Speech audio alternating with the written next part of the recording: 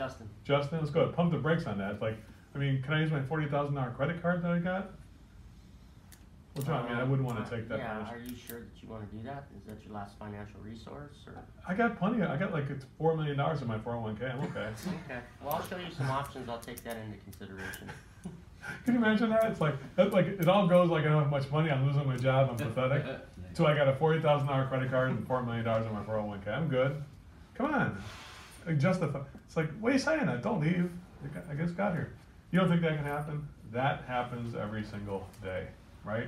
You confront the yellow lights, you smoke it out, and now, now do you feel, the, yellow light does not turn to green when somebody says that, right? If it's still red though, I'd say, you know what, John, I, I just don't feel comfortable proceeding knowing that Bethke is a higher investment when you're looking for a budget company. You know, some, somebody's looking for a budget deal, I say, I just don't feel comfortable proceeding. I, I wouldn't, uh, I wouldn't wanna embarrass, uh, embarrass myself and actually you too, because you're gonna see the inve- investment to do it in the premium way, and you're probably gonna, uh, feel embarrassed uh, about the fact that you didn't realize how much it would cost. You know, so should we stop the call knowing it'll be a higher investment, or should we continue it, you know? If I have somebody who never used, uh, like, I'm pretty sure that nobody's ever hired a drain relining company before.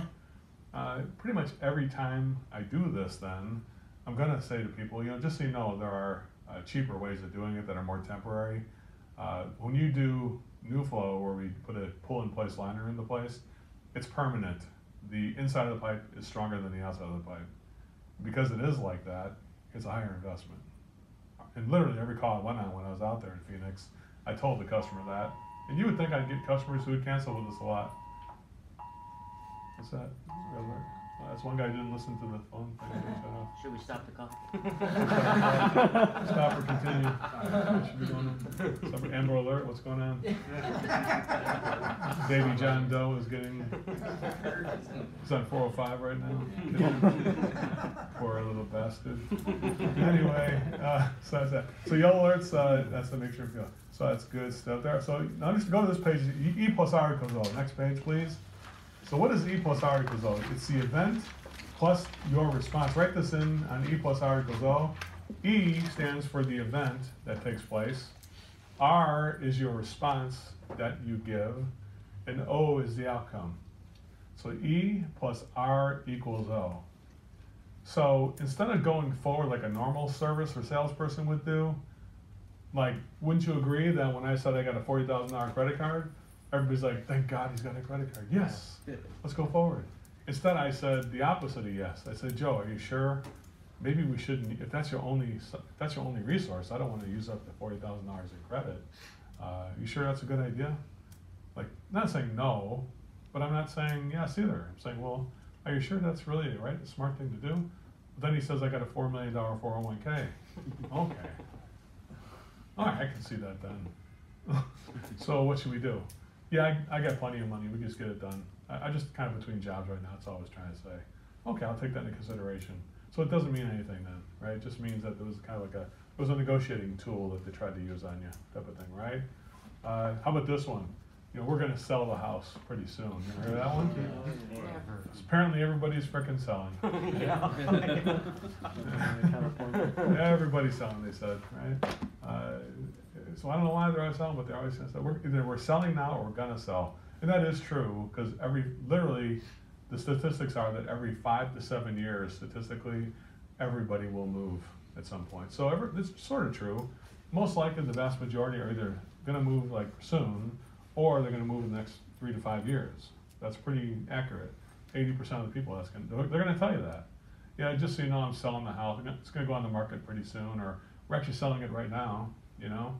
Uh, so don't, uh, so try and keep this, don't look at everything else, I don't wanna find any other problems here, and that's that part of it there. And I'd say, you know, again, that's the yellow light, the E, so your response to that, how about this simple one though, guys? Somebody says they just simply wanna think it over, you ever heard that before? So, here's the prices, what should we do?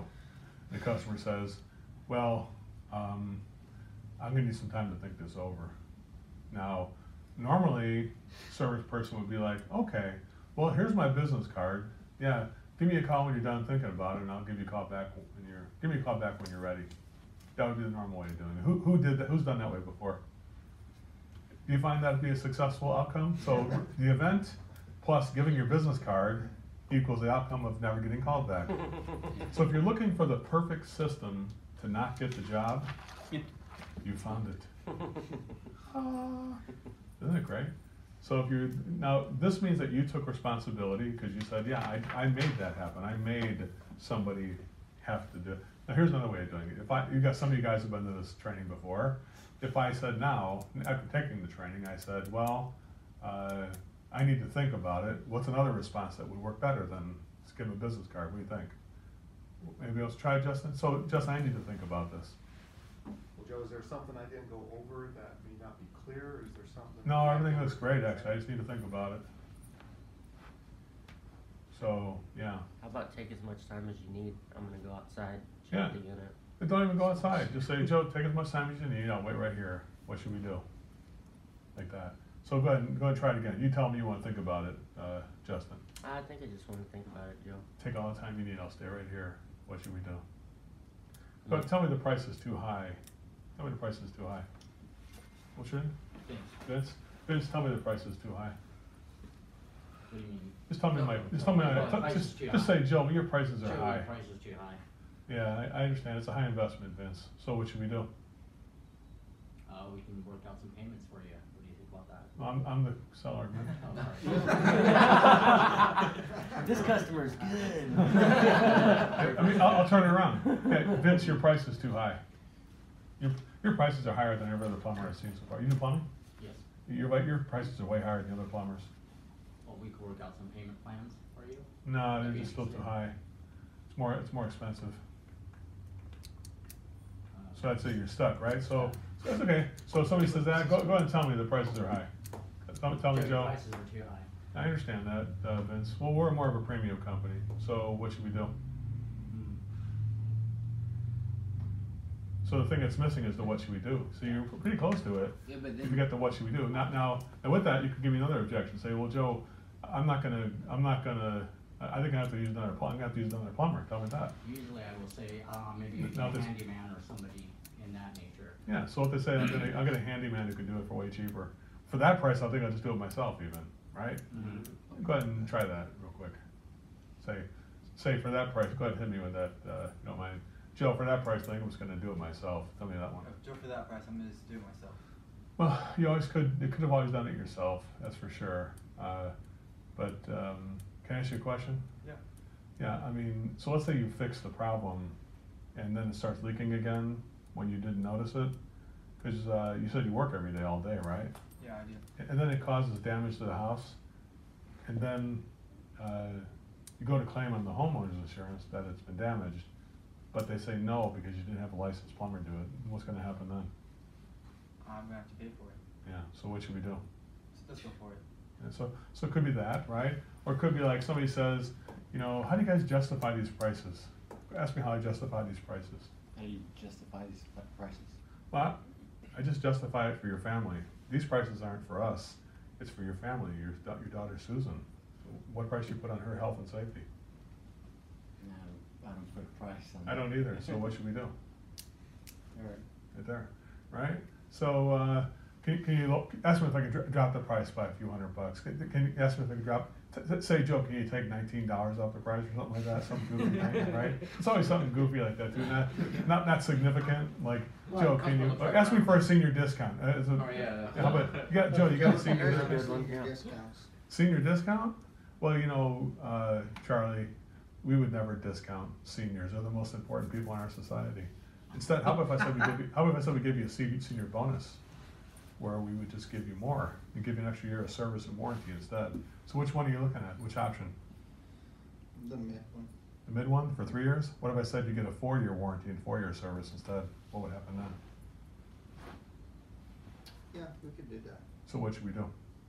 Let's do that one. That's it, just moving it forward. He's, he's in the funnel. It's just a matter, it's like a second later, I, like, I know that two seconds later, he's gonna be job, getting his job done.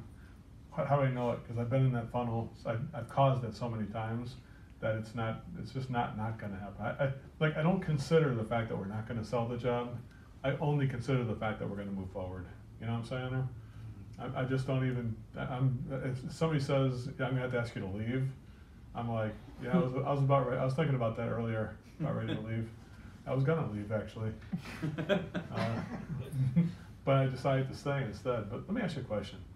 Uh, we- Can we both agree this is a tough job? We're gonna be up in that attic and uh, running that ductwork and things like that, or we're taking apart the piping inside your walls and things like that? We're gonna be, you know, uh, literally into the sewer system of your home.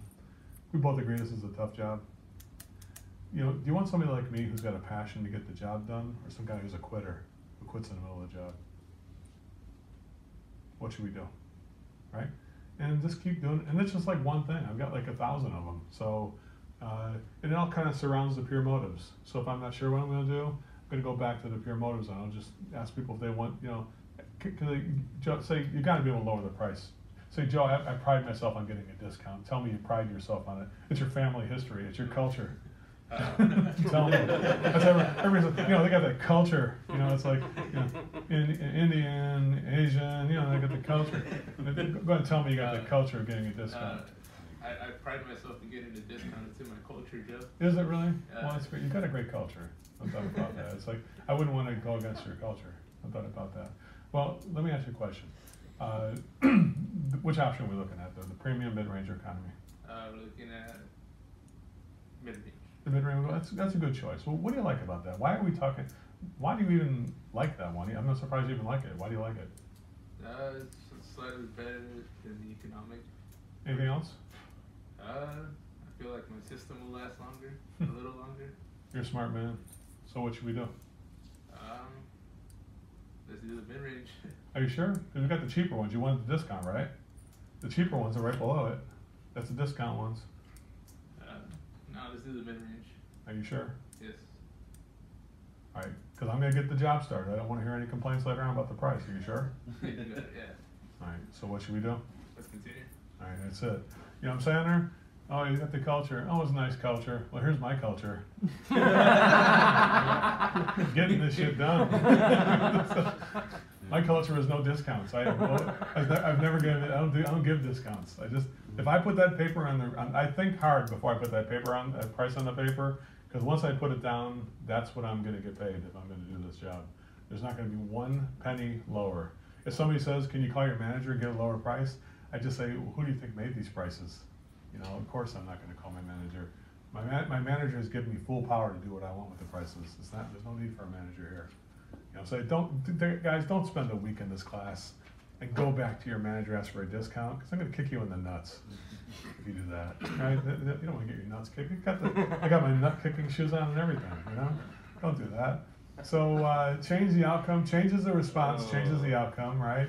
Uh, if you want the opposite, do the opposite. So if you want the opposite of what's going on now, then don't go with the flow and do things differently than you do them now, right?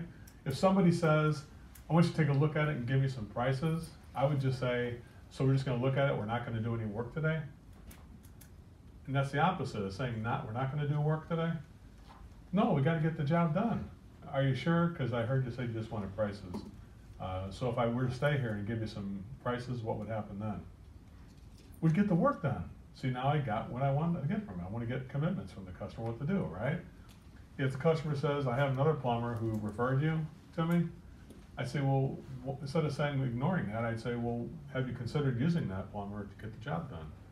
Oh, yeah, but he's an alcoholic. Okay. Are you sure? You want to give him a second chance? I don't want to step on his toes. He's in recovery. You don't want to devastate him if I take his job here. Uh, then we should just not do the job if you have the other plumber. No, I'm not gonna tell him about this. Are you sure? Yeah, so what should we do? Let's just stay here and get the job done. So I'm gonna, I'm gonna listen to these things guys. If somebody says, yeah, just so you know, I, uh, I know the ductwork is screwed up and I don't wanna address that right now, I just wanna do the air conditioning in it. Uh, hey, I know, I wanna put a tankless water heater in. I know the galvanized pipe in this house sucks, but don't even worry about that. I just wanna put a tankless in anyway. And I'd say, well, okay, I'll take that into consideration. And after thinking about it, I'd probably come back to the customer and say something like, you know what, John, I just thought about this. Um, if I were to put a tankless water heater into that galvanized piping, which is obsolete, uh, it would be nothing but problems. And uh, I don't feel comfortable exposing my team or your family to those kind of problems. So I think at this point, if I'm not allowed to look at the piping system, we'd have to stop the call. Or we could continue it if you'd like us to. So what should we do? Yeah, let's continue it. See, stop the call. That's the opposite of continuing the call. Now, in the, I'm not going fully stop the call. I am giving an even choice to stop or continue. Do you guys hear what I'm saying there? I want to express that to you. I'm not just saying cancel the call. I'm saying we could stop or we could continue. But the illusion that, do you think people hear stop or continue louder? Stop. They hear the stop, the volume is much louder on the word stop than it is on continue. You see what I'm saying there? So a way, they think I'm gonna, so you want, if somebody says, well, don't you wanna get the job? Don't you wanna sell me an air conditioning unit? I say, well, John, uh, uh, it's not, not what I want, it's what your family wants. If you're asking me what I want, I wanna find a solution that's right for your family, even if it's not me. I don't care if it's me or not. I wanna make sure you're comfortable with your purchasing, because I'm the kind of person that doesn't push people into things. You gotta, you gotta want my solution, which is the highest quality, highest reliability, the best safety and health, and the best customer service. And it's gonna be customized for your family. If you don't want that, then we should stop right now. Now, if you do want it, we can continue, it's up to you. You know, so what should we do? And I don't mind giving that message. It doesn't hurt me. It makes me feel good. It, it's, it's like people say at the end of it, like it actually works. Every single person I teach it to has never failed with it. It only fails when you don't do it. That's the failure. The failure is you had that moment that you whiffed, that you could have done it. Make sense? So E plus R equals O. Uh, if you want the opposite of what you're currently getting, uh, somebody says, email the prices to me. The opposite of emailing is do it in real life. Somebody says my wife doesn't need to be involved. The opposite is having everybody who owns the house involved. Somebody wants a cheaper price. The opposite is offering a premium price with some mid-range and economy as well. But they're all going to be more than the customer thought they were going to be. Guys, if I had a nickel for every time the customer thought the job would be less than I thought I sold it to them for, would, I'd have a room full of nickels, up to the ceiling would be full of nickels there. You know, I mean, the guy, Rick, Rick McCarr, does nine million dollars a year, he's, he's already hit nine million for this year, right? His average sale is twenty-two thousand dollars on an HVAC system. And he closes like eighty-three percent of his jobs, right? The only jobs he doesn't get are the ones he tells people to stop or continue and they stop. You know what I'm saying there? And there's seven percent he actually presents and he loses, seven percent he offloads before he even gets to the presentation. So, guys, so if somebody's average sale is twenty-two thousand dollars, how often are they more money than the competitor? Mm-hmm. There's no like wondering if I'm gonna be more money. You know what would worry the hell out of him? Is if somebody was more money. That's, that's what would get him pissed off if somebody sold it for more than he did. Like, what? I make sixty-seven percent gross profit. How do I, how are they doing it for any more?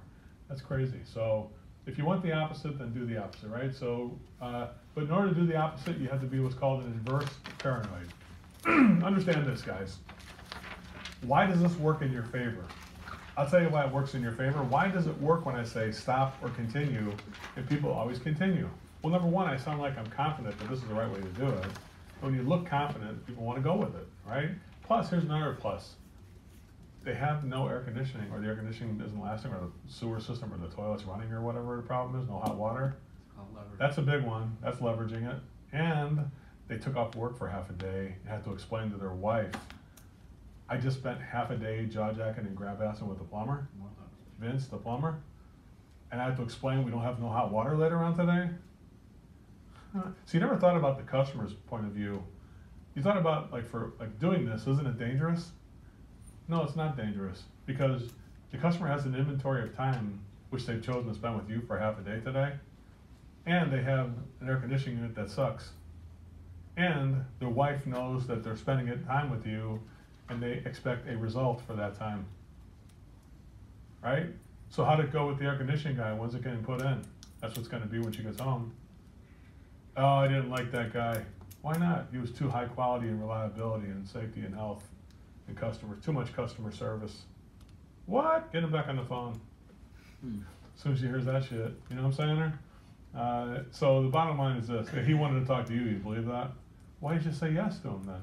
I didn't. I think you want to talk to him. No, I want to talk to him too. You know what I'm saying there? So here's the thing about it: people want to go your way.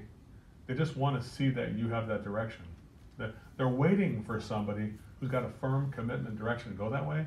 Haven't we all had that before in our life? I remember when I was a young boy, and back when Kmart, I always bring up the obsolete businesses that went under, because when I was younger, that's all I used to buy from that crap, right? Like Kmart.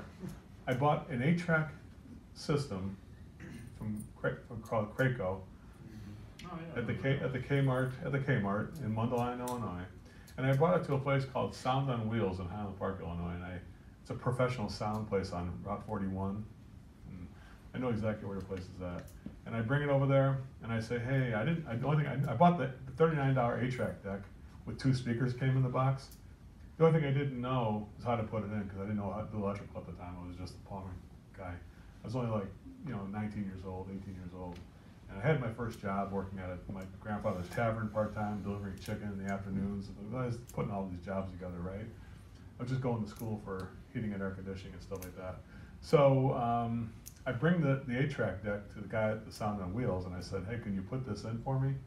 And he says, "Oh, that's so nice. Where did you get this from?"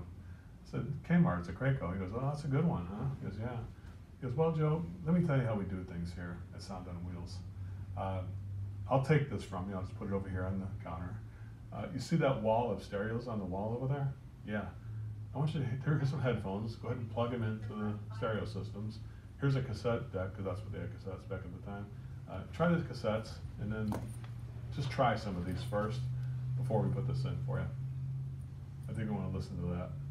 So I tried a couple, and I was like blown away, like, holy shit, that's amazing sound. Like, he goes, well, Joe, what do you think? He goes, here's what I can do, here's what I can do.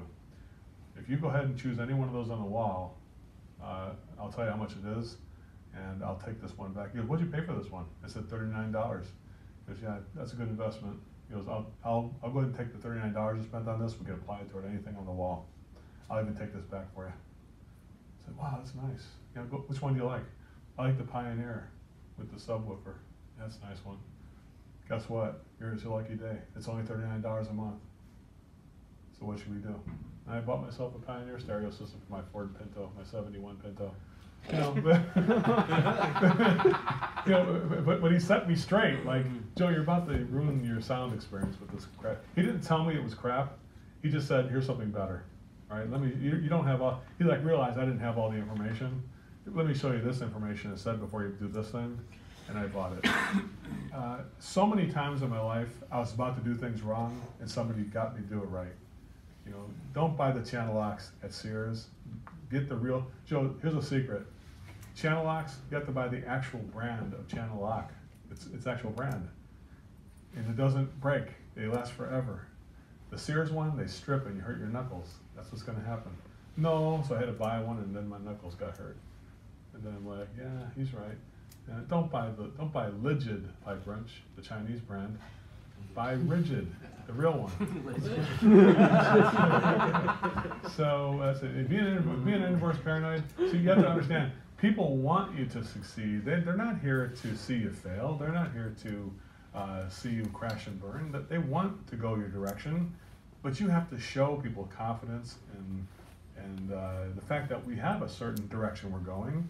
And if you do have that, almost pretty much 100% of the time they go that direction. So if you ask Rick, the guy that does $9 million, what's the difference between you and him? The difference is he honors the process 100%. And when somebody tells him not to honor it, he just says, I won't participate. So you can do two things. When you hit somebody who has a roadblock, you either change that person's mind by having a conversation about it and telling them a better way, like the guy at the stereo system did for me, or you change your level of involvement. Like I'm sure the guy would have said to me, I didn't ask him what he said because I bought the stereo, but I'm pretty sure he would have said, well then take the thirty-nine dollar deck and put it in yourself because that's something you have to take accountability for. I can't have the Sound on Wheels name on this deck. I can't. I can't have our company be involved with this type of a product. You know what I'm saying? That's what he would have told me. And I've had so many people who told me that before. Like when I tried to go in a furniture store looking for a couch in 1998, in the house I bought, the guy says, "Well, John, if you're looking for a couch, go to Sears." He told me. But if you're looking for somebody to design the, your home, look, go into your home, look at every room, and put the right furniture that's going to fit in here for the right atmosphere you're looking for. We do that for free, actually. We do. All you gotta do is buy the furniture from us when you, when you, if you like, if you like it. So I had a guy named Angelo who went through my entire house and redesigned the interior of the house in a brand new McMansion I had in Lindenhurst, Illinois. I, I went into his place looking for a six hundred dollar like leather sofa. I thought he had a sale on them, but I I had the wrong place. Instead, I bought about fifty thousand dollars in furniture on monthly payments, about a thousand, a thousand dollars a month. Isn't that crazy? Hmm. So, but I had a kick a kick ass looking house, right? Uh, so many different stories like that. Jerry the landscaper. You guys ever heard the Jerry the landscaper story of mine? I'll tell you later on about Jerry the landscaper. I just wanted to get some grass in the deck. Instead, I got like Epcot Center in my backyard. It's amazing. so, uh, so I'm gonna play a little video for you guys real quick. So this video is gonna it's, it's gonna basically go over the opposite. I want you to listen to this called Opposite George. Turn out like this for me. I had so much promise. I was personable. I was bright. Oh, maybe not academically speaking. I was perceptive. I always know when someone's uncomfortable at a party. It all became very clear to me sitting out there today that every decision I've ever made in my entire life has been wrong. My life is the complete opposite of everything I want it to be. Every instinct I have in every aspect of life, be it something to wear, something to eat, it's all been wrong. Tuna on toast, coleslaw, cup of coffee. Yeah. No, no, wait a minute. I always have tuna on toast. Nothing's ever worked out for me with tuna on toast. I want the complete opposite of tuna on toast. Chicken salad on rye, untoasted, with a side of potato salad and a cup of tea. Well, there's no telling what can happen from this. Chicken salad's not the opposite of tuna. Salmon's the opposite of tuna, because salmon swim against the current, and the tuna swim with it. Good for the two. Uh, George, you know that woman just looked at you. So what? What am I supposed to do? Go talk to her. They're letting bald men with no jobs and no money who live with their parents fall for strange women. Well, here's your chance to try the opposite. Instead of tuna salad and being intimidated by women, chicken salad and going right up to them. Yeah, I should do the opposite. I should. If every instinct you have is wrong, then the opposite would have to be right. Yes. I will do the opposite.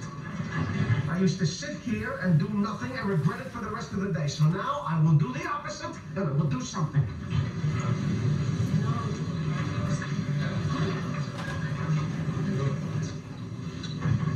Excuse me, uh, I couldn't help but notice that you were looking in my direction. Oh, yes, I was. You just ordered the same exact lunch as me. My name is George. I'm unemployed and I live with my parents. I'm Victoria. Hi. Are you home to beer? So he, he winds up every day. Just grows right back. he winds up uh, dating uh, dating that woman, and uh, he winds up getting an interview with George Steinbrenner. She knows the, the Yankees uh, front office people.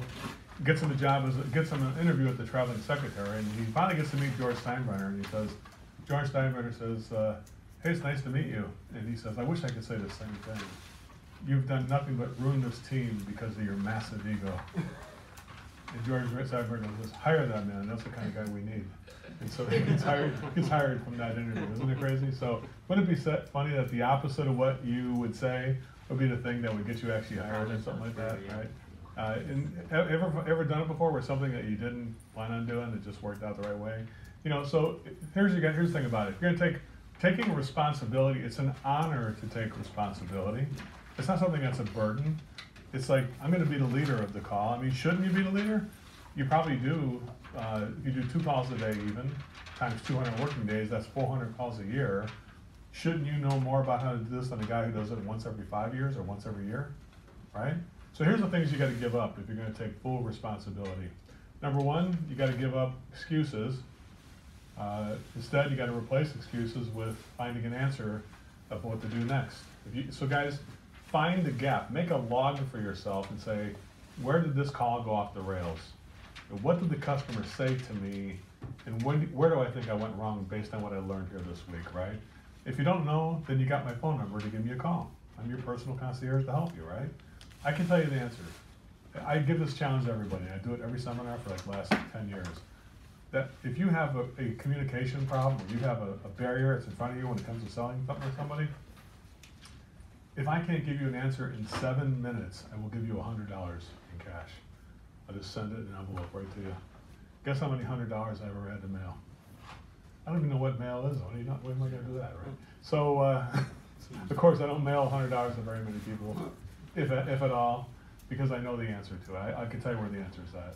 Number two, you gotta give up blaming. Instead of blaming people, it's called take responsibility. It's not something else. It's not the customer. It's not the economy. It's not the president. It's not your senator. It's not your wife. It's not your boss. It's, it's you. Your company gets better the second you get better. Don't, don't look for your office to get better. Look for yourself to get better first. Then your office will get better. If you want to have leverage, you want you want to change your company, then start kicking ass because now you got leverage. I mean, if I'm selling like 180,000 a week, you think I got something to say about how this company would be run? I got a lot more to say at that point than I do if I'm only bringing in $180 a week. I'm not bringing any money in, or 18 18,000 even. You know what I'm saying? So uh, number three, stop complaining. If you guys complain about something, complaining is the very nature of knowing that we could have changed things, because we don't complain about things we can't change. Like, you ever complain about gravity when you fall down? Because you can't change gravity. You know, instead you, you start worrying about the carpet that you fell over or the thing on the floor that your kids' toys or whatever. Then you say, let's clean this place up. We need to take responsibility. And it's not gravity that hurt me, right? If you touched electrical wire, would you bitch about electricity? Because that's what you're bitching about when you complain about service calls or sales calls going off the rail. You're bitching about something that's universal, that's going to happen, uh, and it's a big picture. It can't be changed. All you can change is the way you play with electricity. Like electricity, it can kill you, can electrocute you, but it can also power a heart and lung machine and save your life, right? It's how you use electricity that, like gravity, it could kill us if we fall to our death. But if we use gravity to play a game of basketball, the ball would fall into the rim and we'd have fun. We learn how we learn how to play with the things that are dangerous. And we don't even think about the danger part of it. We play basketball like gravity could kill us. But it could. The roof could fall on top of us when we play basketball. But we don't think about that. You know, we think about if, if the roof did fall, we wouldn't blame gravity and we blame the, the person who engineered the structure or the guy who built it instead. We think about what they could have done better. So whenever so instead of complaining, replace complaining with taking action. There's always two things you can do. If something's not going your direction, change the situation by having a conversation that you can change people's mind on it, or don't involve yourself in that situation. Those are the two things you can do. Uh, you always have that power. You know what I'm saying there? Why do you, why do you say you have to do something? You don't have to do a damn thing if you don't want to. If you feel it'll be counterproductive to you, your family, and your career, I would suggest that you don't do it. You know what I'm saying? there? Take action, find a different place that will let you do what you need to do, is what I would tell you to do. Question there? You had a question there? I was just gonna say, that one that goes with that, that I've always stuck in my mind, I, a psychologist told me this decades ago, and I've always stuck in my mind, forget, use it at work, use it at home, use whatever. If you wanna change how you feel, change how you think. Because Hmm. how you think, your perception going into anything is gonna dictate usually your actions. You want those Mhm. actions to be better, more successful, more, more whatever, well, you, you gotta change your mindset first. Mm-hmm. You change how you think. It, do- it does, it does begin, it does, it does begin with that. It's like, there's a saying that says, if you, if you plant a thought, you reap an action. You plant an action, you reap a habit. You create a habit, you plant that habit, and you do that all the time, you reap a legacy. That's the way you always do things. And you become, the greatness that you achieve in your life is because of the first thought turned into action, turned into a habit, turned into a legacy. That's where, that's where your life can change. But if you, you don't even think about changing something, you're not gonna take action on it. You're right about that, it's true. So don't think about, uh, blaming or complaining people. Uh, so here's things, these are all things I give up, there's none of these things I didn't give up by nineteen ninety-six. I I don't give excuses, I don't blame, I don't complain. I never say the word can't anymore. Instead, I say what I can do. Well, here's what I can do. Somebody says, can you lower the price by five hundred bucks? What I can do is just go to a lower option. Why are we, why are we obsessed with a good one? We'll just take a lower one. Yeah, but can't you do the better one with less money? Sure, here's what I can do. Instead of a ten-year warranty, let's do a nine-year warranty. Split the difference. So they, the next one down's got seven years. Why don't we just bring it down to nine years and that would make us about halfway there? What do you think? What should we do? Right? That's what I can do. Why don't we just go without the water quality? Just get the water heater. That would bring it down by, instead of being twelve thousand, it'd be ninety-six hundred and thirty-five. What should we do? Right? That's what I can do. Uh, uh, sarcasm, I released sarcasm, and I was about the most sarcastic person in the entire universe before. Uh, sarcasm is the language of losers, people who can't really communicate productively, and so they communicate sarcastically, knowing that kind of feel like hopeless and a victim to things, right? So sarcasm is a language of victims. Uh, oh yeah, last time I did something like that, I fell off my dinosaur or whatever because I'm old. Giving a justification or excuse. So people who sarcasm in a way embodies excuses, blaming, and complaining. That's what, it, and I can't. Those the top the top of it all embodies the word sarcasm. If you do all those things, you're going to be sarcastic when you speak to people, right? Uh, instead of that, give yourself unconditional support.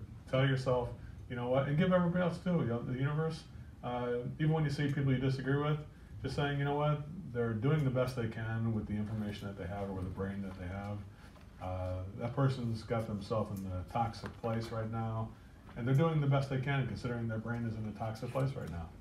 You know, if you don't agree with your po- politicians or your friends, are, there's no need to get rid of 50% of society and exterminate them and do a serial killing on half the half the world that you disagree with. You know, because that's what that's what, what you want to do genocide with the other half you don't agree with. Then then what's going to happen when your half doesn't agree with you? You know what I'm saying there? Uh, then, then who's got the genocide? Probably you. You're going to have that, right? So, guys, even if you don't agree politically with people, understand that that's the frame of reference they have, and that's the system that they believe in. It doesn't mean it's the end of the world or it's that it's going to end our world. It's just what they believe, right?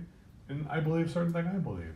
Now, your ability to communicate what you believe to persuade other people to move your direction that's what's going to change the world. It's not going to change the world to dig into your way of doing it and not be able to express the reason why you believe what you believe, right?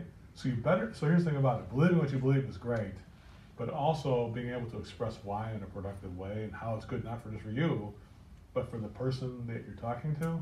That would definitely be a way of changing people's minds. Make sense?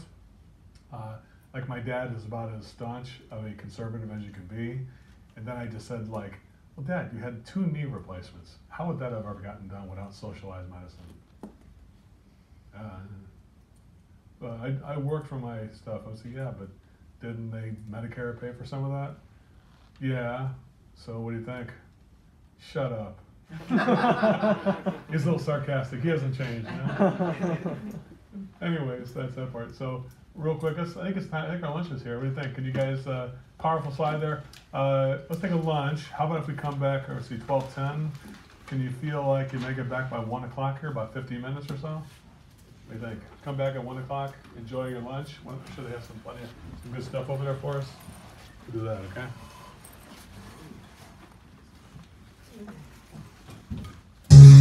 Oh, I, I forgot how loud I had that.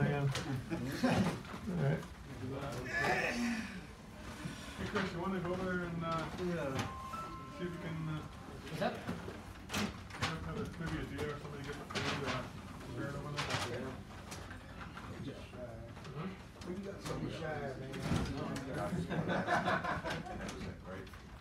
And he kind of pretty much told me he wasn't gonna, yeah, it- yeah, we keep it anymore. Uh-huh. Um, He said he's not gonna do anything? Yeah, he said, I just wanna know what's gonna call us, I wanna see where it's at, okay? And I said, okay, I went through the works with him, I showed him all the options we could give him. So, so you probably, probably, you're going, you're, so you probably got this, he's got this, he's got that. But I always do in this kind of situation, I kind of do, go, go, out, take a, take an exit ramp.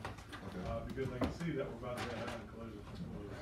He, he wants the prices without getting anything. Right. And I wanna get prices. Is there two without Is that that other thing? Uh, so that's gonna be a head-on collision. So sometimes I'll take an exit ramp if I see a head-on coming, and that's kind of what I do. It's like, if I- if I confront this right now, I'm gonna wind up with, so when I see somebody who's dug in on their side, I try to say, well, John, let me ask you a question. Why is it that, what's the reason why are we doing this? Have you considered I didn't notice, I didn't, I reviewing didn't the see prices? anything. or- Is a reason why? They'd be like, well, the other one's getting old, they might give you some longer. This one's really old, this one's, this one in case it breaks down. Uh, how do you shut And I would say, well, You like the let me ask you a question.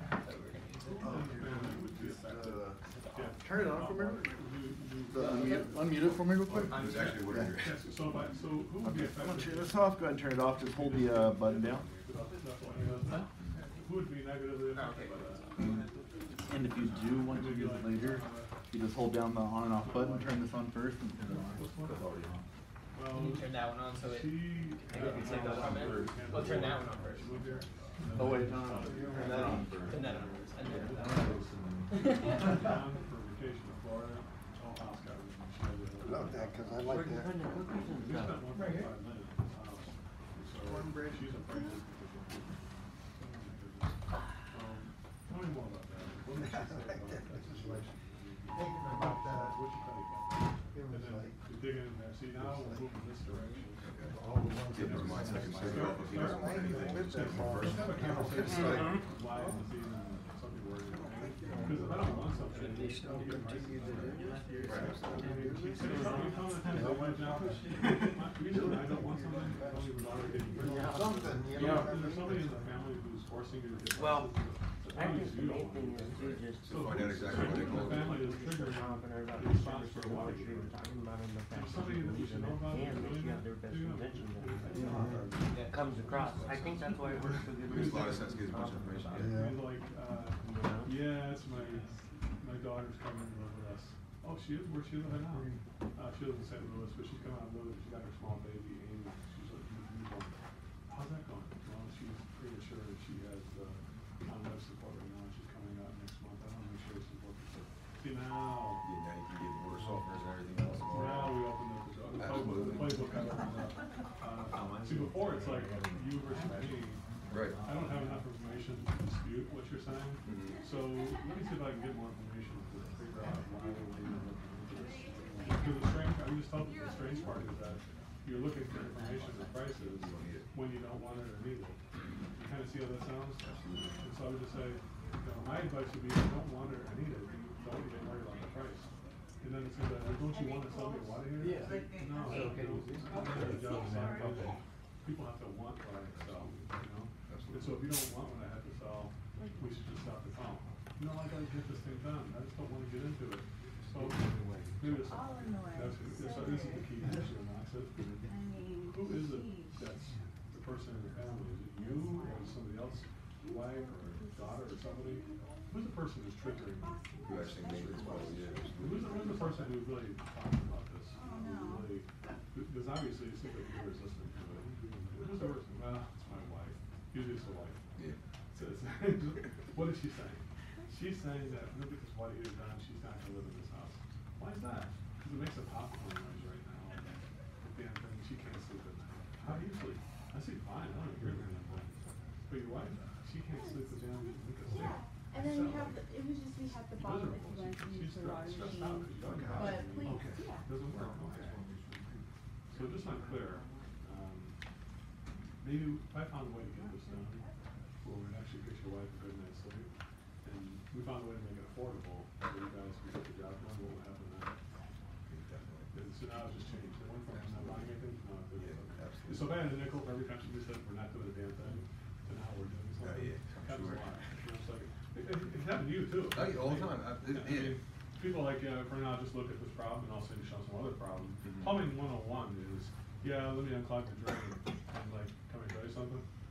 Yeah, like- more- nine times out of ten, it's how it goes, It's too. like- It's like, can I tell you something? Yup. It's like, what, like, and then you show them the second thing, it's like, oh, damn. That's why we try to go through the works before you put a snake in there, you know what I Yeah, mean? well, this will be different. Yeah. we're gonna, we're gonna do the same thing, but in a little bit opposite direction. Mhm. We're gonna show them everything, and then we're gonna put the, this camera in. Makes sense. Cause I'm gonna say right now is that if I see a drain call, I would say the premium option would just be to replace the drains Mhm. or line them. Uh, because with no, because like I tell you right now, the drains have been there for sixty-two years, and now we have to have several drain cleanings done. that there's a fracture in the pipe. That's that- It never, it never, never had to do it before, and all of a sudden we're doing it all the time. There's just something wrong with it. So I'm gonna give you the option, I got two options. I got option to clean the drains, and options to just renovate the drains. Which way do you wanna do that? I'm telling you both ways available. So even before I look at it, I'm gonna tell them that. Yeah, And yeah. you're like, you haven't even looked I at it. see, I don't even go that direction, I just tell them, well, this, this is what can happen if we hit roots, this is what could happen if we hit Yeah, this. we're gonna show you. Yeah, the I'm right- ready for it. It's, uh, Which way you wanna do it? Basin, actually. It's well, uh, yeah, I'm gonna give, I'm gonna give you the information, but give it to them after you get the prices. Right. Cause it's more, it's more, uh, I wanna see the options to renovate more. Did you when get you some wanna to get- eat? Yeah, yeah. If you didn't make it yet, then you have, it's like. Then this. I'm scrambling around Well, trying it's to like put this, it it's like, together. it's like if I, if I ask you if you want a cup of coffee, and you say, Joe, you got these things made? No, I gotta make a pot. You're like, no, I'm good. Right. But if we said, is Joe's a coffee made? Yeah, it's right here. Yeah, so, All so, so if I say, hey, you want, to- I have, I have options. You want to see some options on how to renovate the thing with permanent? You got it made? Yeah, I got it right here. Yeah, absolutely. You know, see how much better that is? Oh, yeah, oh, yeah. So- So it's like, that's, the- so I know it's real simple, but so many people just, they think that I gotta talk about it first. Mhm. What happens, they usually talk their way out of it. My biggest problem, is they're one of the first things you talk about, is I always try to tell the person how the shit works and why it's there. Yeah. So it's like, exactly. It's hard, that's the hardest thing to stop doing, cause it's, it's, it's our desperate self-esteem when to show people how smart we are. And, uh, people are thinking, the interesting thing is most people think you're already really smart. Like, who would have a plumbing truck and the keys to a complete truck? Right, right, who, who would allow them to actually take that thing, yeah, exactly. So people are like, this guy must be really kick ass if these guys don't truck it. Right. He must know his shit, cause they would never. No, absolutely. There's so many, the, the evidence is that you're good already. Uh, we just don't believe people know that, but we think by saying something, we're gonna teach them how good we are. Doing something. I've screwed myself so many times doing that. Yeah, we all do. I've screwed myself so many times. I, I've done it for, for a long time, I did that wrong, yeah. I appreciate that. My pleasure, buddy. That's what I'm here for.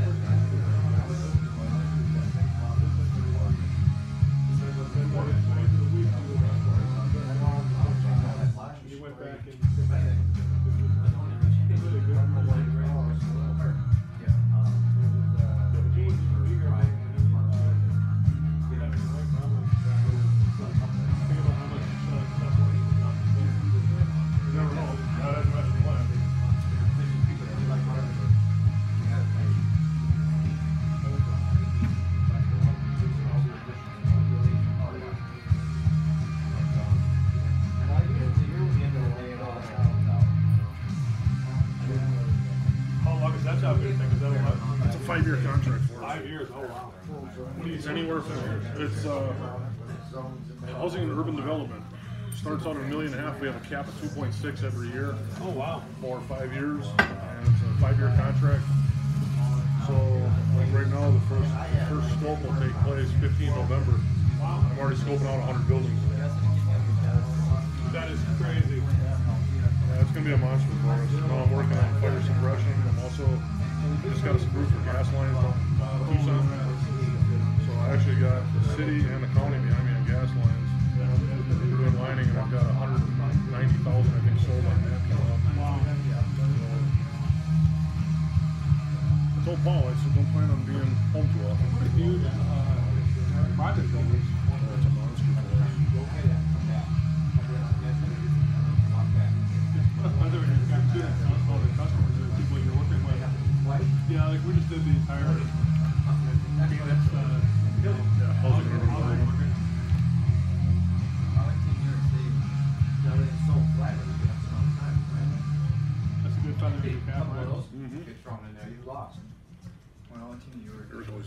Always laughs, he says, you coming to the office eventually? Nah. I'm a little busy, boss, I'm sorry.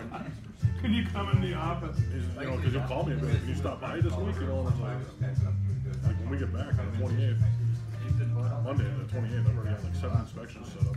Tuesday, the twenty-ninth, we're meeting with the fire marshals, state fire marshal and, uh, uh, state of Arizona fire marshal and the city of Phoenix fire marshal and Tucson fire marshal.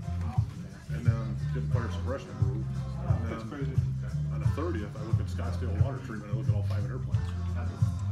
So I was like, I already know my schedule. Where's the stop, Ralph? When do you stop? I don't. A good sales guy never does. You know it. No, we're next time. It's like when we get back. Was the Scottsdale one sort of like a referral from this one, or what Oh, happened? that was uh, another one I've been, I've been just hitting construction companies. It's gotta be pretty cool though when you tell Scottsdale, like, yeah, Phoenix just bought the whole thing from us for seven million. Well, that was the thing, you know, it was like, I went out and talked to the guy for the water, for the water treatment. And Erica did a presentation out there like three years ago, and I totally forgot about us. So I had sent it out to three construction companies that know the deal specifically with wastewater. And Tackett Construction, the owner, called me, he's like, hey, I got a big job for you, to look out in Scottsdale. So I went out and looked at it. And we opened up the sewer manholes, and they had dumped hydrochloric and sulfuric on manholes. I said, hey, can we do a pH test before I stick my camera in? And he says, yeah, why, what's up? I said, I just wanna check the pH level and see where it's at. Came out like forty-eight percent, like, no, we can't run my camera through that. I said, I'm gonna eat at my cable if I do it. And they're like, oh, yeah, we never even thought about that. The guy looks at me, the director of wastewater looks at me and goes, okay, this is our guy. He goes, cause, he goes, cause I'm gonna tell you what, this guy already knows what pH levels are and knows what hydrochloric sulfuric is gonna do to his camera. That's our guy we wanna work with. Wow. Credibility. Well, it helps to have a background. Yeah, Really st- helps. stop before we go forward, right? Let's stop and do it right.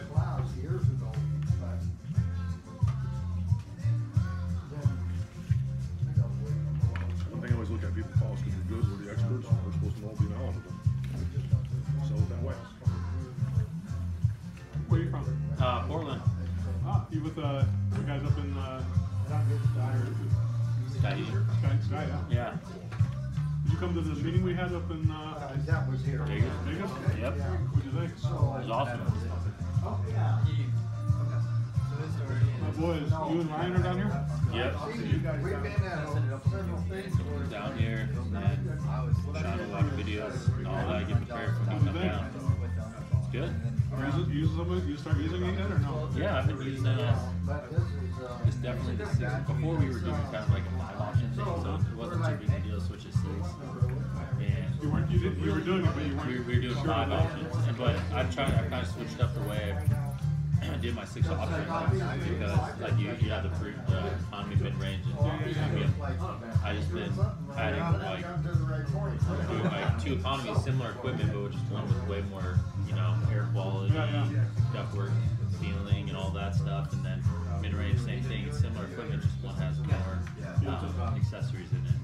It's funny when people were doing five options or four options or whatever, like they weren't putting, they weren't putting that kind of thought into it. The, the premium mid-range economy way of doing it, they were just saying, here's all the options, they weren't really identifying the categories. Yeah. Adding the customer's name, things like that. about, about- about two and a half months. Every day for you? Oh, yeah, two and a half months straight, just testing. I was excited to hear you guys uh, putting in place. You got everybody there. I can't believe how fast you guys take action. Yeah, it's just one of the things where Travis just says, all right, guys, do it. Sometimes we don't have great direction, so we try it, see what, and if it doesn't work, we fix it. That's it. You don't, you don't take action. Taking action on doing something different is always the best thing to do. Because you always learn what doesn't work and what does work. You don't learn anything by doing the same thing over and over again. Well, if you're failing, you're still failing. When you learn what you, you learn what failed, there's nothing you're doing crazy. You're not paying attention to the result. You're not. You're avoiding. You're avoiding the result. When you, you guys were there for that day, what was the biggest impactful thing you heard that day? Um, what do you think, Ryan? What? What was the most impactful thing you heard in Vegas? When you were in Yeah, Vegas that day, what was the biggest thing you heard that was an impact you? Uh, what should we do? and uh, I think getting in front of both people and, and doing the reschedule. Or, you know, the clear conclusion, kind of what I said when I first hired. Yeah, yes. Uh, that's been like, since I got back, it was autumn, like instant. Like, it was just going. when you just tell people that's all right. So if you're interested, we still have to wait and make an appointment then. Well, can you email it to me? We actually do better than email. We just go ahead and make the appointment. So what should we do? Yeah, okay, let's make the appointment. I, I've, I've actually had a few rescheduled, worked out pretty good, but one was kind of a weird one. 'cause The guy's wife wasn't there, uh-huh. so I got the reschedule to come back to talk with him and his wife. It was a Saturday. I let him do the time. Saturday, four o'clock. So I'm like, okay, go back there. Saturday, four o'clock. Wife answers the door. I'm like, okay, good. Everything's good. We get to the table. He sits over here. I sit right here, like he's waiting for his wife to come sit over here, you know. And I'm kind of getting set up, you know, and she's just staying busy, right? Yeah, yeah. And so, so hey, you know, so and so, we get come over and join us. You know, I came back over here, so we could all talk. Oh no, actually, I, he, I trust him. He just. Then I, I, I honestly, I, I was. That's okay. It, it, that's again, it's the wrong. It's the. It's, it kind of hits that constructive conflict, right? It's like, well, Janet, let me ask you a question. Do you uh, do you do you do you breathe the air in this house? Do you use air in this house? You know, one thing we believe in here at Sky Services, we just believe in uh, respect. How important is respect in the relationship between you and John here? It's very important. The one thing I don't want to do, I know I know you wouldn't consider it that way, but I wouldn't be able to even present to John because I would feel like we're disrespecting you by not including you in the conversation. So since you own half the house and you're also breathing half the air in the house, I would definitely want to. Plus, I want to get your input. John told me so many things about it. Uh, I, I wouldn't be able to proceed until we able actually have you here. Would you do us the honor to please join us? It would mean a lot to me. Oh, you really? Yeah, I mean, really, we need, I, just, I need to get your thoughts on stuff too. It's like we need to do that too. So we need to get that. You know, if we don't get it, she, like I had so many times, guys, where I had the husband sitting on a couch, me and the wife sitting at the kitchen table, and she's all like, "We got to get the tankless. We got to get that mini ductless mini split." It's like, "Oh my God, this is exactly what I saw online. You guys are, it's amazing." And then the husband's like reading the paper, not even looking. I'm, I mean, I'm not even. And I was so stupid. I'm not even acknowledging it. He's, he's sitting literally a foot away from me. Like he's in that chair and I'm here, and I'm not noticing that situation. Like he's not interested. Like what I, I could predict. Actually, when I was presenting, I'm like, oh fuck! I just realized what I did wrong. Like I was in the middle of the presentation, and this guy was not listening to me. He's just listening passively, right? And, I, and in a way, I looked at it like passive aggressive. Like, like, newspaper. You read the newspaper, you know? Like, who even reads a newspaper anymore, right? So it's like this is long, long time ago, back in the '90s. But it was like I said to him, I said, you know, I just realized something, Linda. I said, Phil, is there a reason why you're not joining us here? Because uh, I just realized I haven't included you, and that was very rude.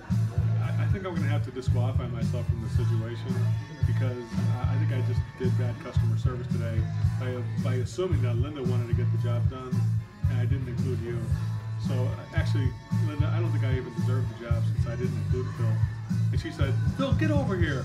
Uh, All right, gets over here. See, like, that's- yeah. it's- So it's like, then we got them together, and I, I felt called, that's called falling on the sword. admitting it's your fault, not her fault or his fault. That's my fault. I should have I should have asked you more about. I wouldn't. I think I, I feel like I disrespected you by not involving you with this whole thing. That's my fault here, you know. So one thing you can always go to, that's always okay, is called falling the sword if something's not going right. You know, this is my fault because I I never involved you to begin with. I, I didn't let you know that we are going to need to have both of you guys involved with this thing. That's really on me. See, that's where I was confused on that one because I, I made it clear that's why I was back. Yeah, yeah. That, and I think he thought that she was Yeah. going to be involved, right? So, so you can always say, yeah, yeah, I must not have, I must not have delivered the message the way I wanted to, uh, or you maybe you didn't hear what I said. It's probably my fault because I didn't double check on that. Uh, so it's like, uh, but I'm gonna actually need both of you guys involved for us to bring it to a conclusion. Because what I would never want to do is get the job sold to you, John, and then have her have second thoughts about why we did this. I want to make sure that she. Because you can predict the outcome. The outcome is that the husband or wife buys from you. They run it in front of the other person, say it's twenty thousand dollars or whatever. It's like we don't need all that shit, and then they take it back, scale it down, and now you got this person who's got contempt against you and your crew because they felt like you moved forward without them. And they're always picking at the back. And now all of a sudden she's calling her cousin, who's got a guy. You, see what I'm saying there? So she's gonna prove that I got somebody better than you got. So the husband decides without her. She has little contempt because I never got nobody even asked me to be involved, and I was sitting right in the fucking house with her. Type of thing. Yeah, go ahead and do it then, honey. And next thing you know, I got my brother on the phone, my mom on the phone. Who's your guy? Oh, you got the other, you got Acme? Let me kind of have them come in. Yeah, call your guy and tell him to hold off on the install now. What? It's supposed to go on Monday. Well, I'm going to get prices from Acme. Well, we're going to put the foot in Monday. No, we're not. My house too. And all right. See now we're putting on hold. The second you get that phone call back, that there you go. There's your answer. You should. You should. How many times has that happened? Many times, right? We thought we had it all scheduled and done. Put the brakes on it. We're not completely there. You didn't get it. It wasn't. You. You, you kind of went forward before it was their idea. You. It was more your idea than it was their idea. You know what I'm saying? So making a purchase has got to be voluntary. It can't be something where you push the purchase in a way. If anything, you take it away from them. They'll want it more. They'll want it more. Like when I like when I tell that woman, you know, I wouldn't be. I'd only be able to proceed if uh, you were involved because it would be disrespectful for me to. We really believe in respect at Sky Services, and myself personally, I, believe in the respect between a marriage, and I wouldn't want to disrespect you, both of you guys, if I went forward today, because you would only get half the information about the price. You wouldn't hear the information about what we're doing for the price. You know? That's really the truth. The truth is, if you go forward without the wife knowing what's going on, all she's gonna hear is, "Yeah, I bought the system. Twenty-one thousand. What? Uh, my mom had it done for five fifty-nine hundred. and you know, cause she she networks. Yeah, we're getting the heating. So what are you doing? Oh, Ralph's busy getting the heating air conditioning thing done. What? Yeah, we had one done for fifty-nine hundred. Everybody throws it at the table while they're playing cards or whatever, right? Okay. Yeah, prices might have gone up, but maybe a seven thousand. Yeah, probably. And then he buys something for twenty-one thousand, right? And she's like, wait a second, that doesn't sound right. I think you got, I think you got taken advantage of, honey. It's not your fault. It was that stupid slick sales guy. You know, and then you know, you're the one who's got the shit eating shit. And they cancel the call, and your your boss had the check, they had the crew, everything's ready to go, and then put a breakdown. And the, the install team gets out there. We called the office and voicemail said we didn't want to do the install today. What? And then uh, you're stopping the whole damn thing. You know, so. Yeah, I mean, I've had a quite a few reschedules. A lot of them turned out really good, though. I mean, and then or getting, I had one where the the person actually got the husband on the phone because he couldn't hmm. hear, but we had him on speakerphone and, and it closed. So I mean, We do a fair amount of speakerphone ones. I mean, I vote before in the past. I'd be like, you know, you try to get him on the phone or something like that, but it, it didn't work as well. So No. just kind of how are you? implementing some of that yeah, you gotta make it. You gotta make it happen for sure. Instead of the you know, one day never comes. Oh, I'll verify that right now. well, you know, you, you may lose. Yeah, uh, we got your email. By doing it right, you know, so don't don't don't un- understand that if I'm telling you to do it okay. the right way, there's gonna be times where a customer says, well, if you don't if you don't just give it I've the price right now, I've got the address. Why? Actually, I have uh, I'll California. If you don't want to do it that way, I'm gonna hire somebody yeah, else. I'll call the office. I'll have. Odds are there, we have somebody else why would they say I hired somebody else? How, how, would they know there's somebody else that would not do it this way? They probably had somebody else. So how would they know that uh, there, there's somebody else who do it? They talked to Justin. It they already had somebody. You see what I'm saying? So here's, here's the key thing. Nobody would be willing to reject a really good plumber and if I didn't already have a liner on the backside. I've looked at plan B is already in place. Because why would I reject the guy who I've never, he's only got a 30? doing this the right way? Why would I reject that if I didn't have something in the back end? need a safety net otherwise, you know what I'm saying? So we have so an extra odds I'm just calling to see what he's doing, see if it's better, or see if it's cheaper than the other guy, and I've already committed the other guy in a way. So if you don't do things, so customers who insist on doing things their way, I mean, you don't go to a ball game and say, you know, uh, I insist that I get the box seats for the price of the grandstand. It's like, John, you bought a grandstand, so you must be Can I get a box seat? Yeah, you have to go back out. Every ticket to the front, ticket office,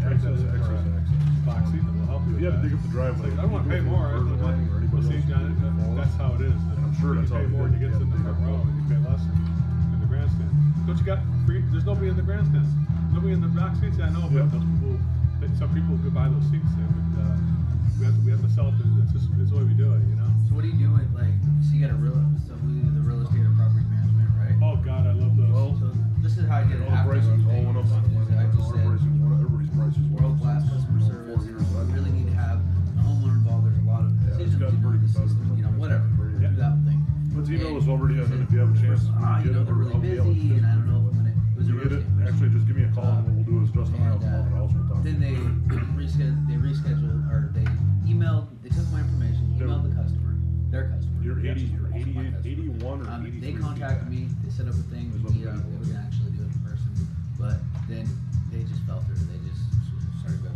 Yeah, because the process is off from the beginning. So you just tell the real estate agent, I say, you know, do you believe in full disclosure? I mean, well, it's, it's, 35, it's about 33 to 35 feet back. And Are you aware of that law? We're in a break. And every so real estate agent in the world will say, can, oh, yeah.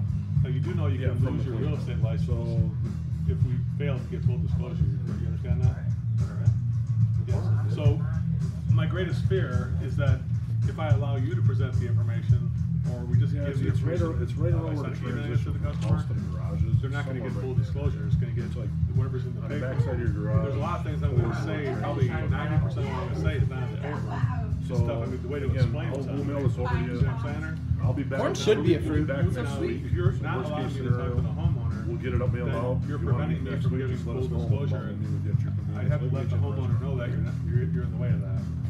So do you want to get in the way of that? Or you want to be? Here's another option. You could just you and me together. Yeah, I'm going to call her today. Work together to present and collaborate, present it to the homeowner so they understand what. You're looking at one to do. What do you think of that instead?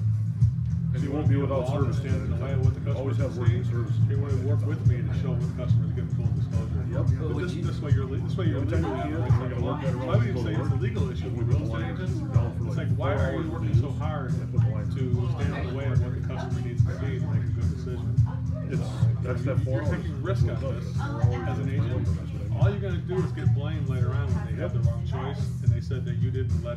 I'm just gonna say you didn't let me talk to the homeowner when they had the wrong choice. Yeah, we're gonna cut the video. I would say you know my greatest fear. They actually make a purchase and it's the wrong one. And then they're gonna blame you, and then you're gonna blame me.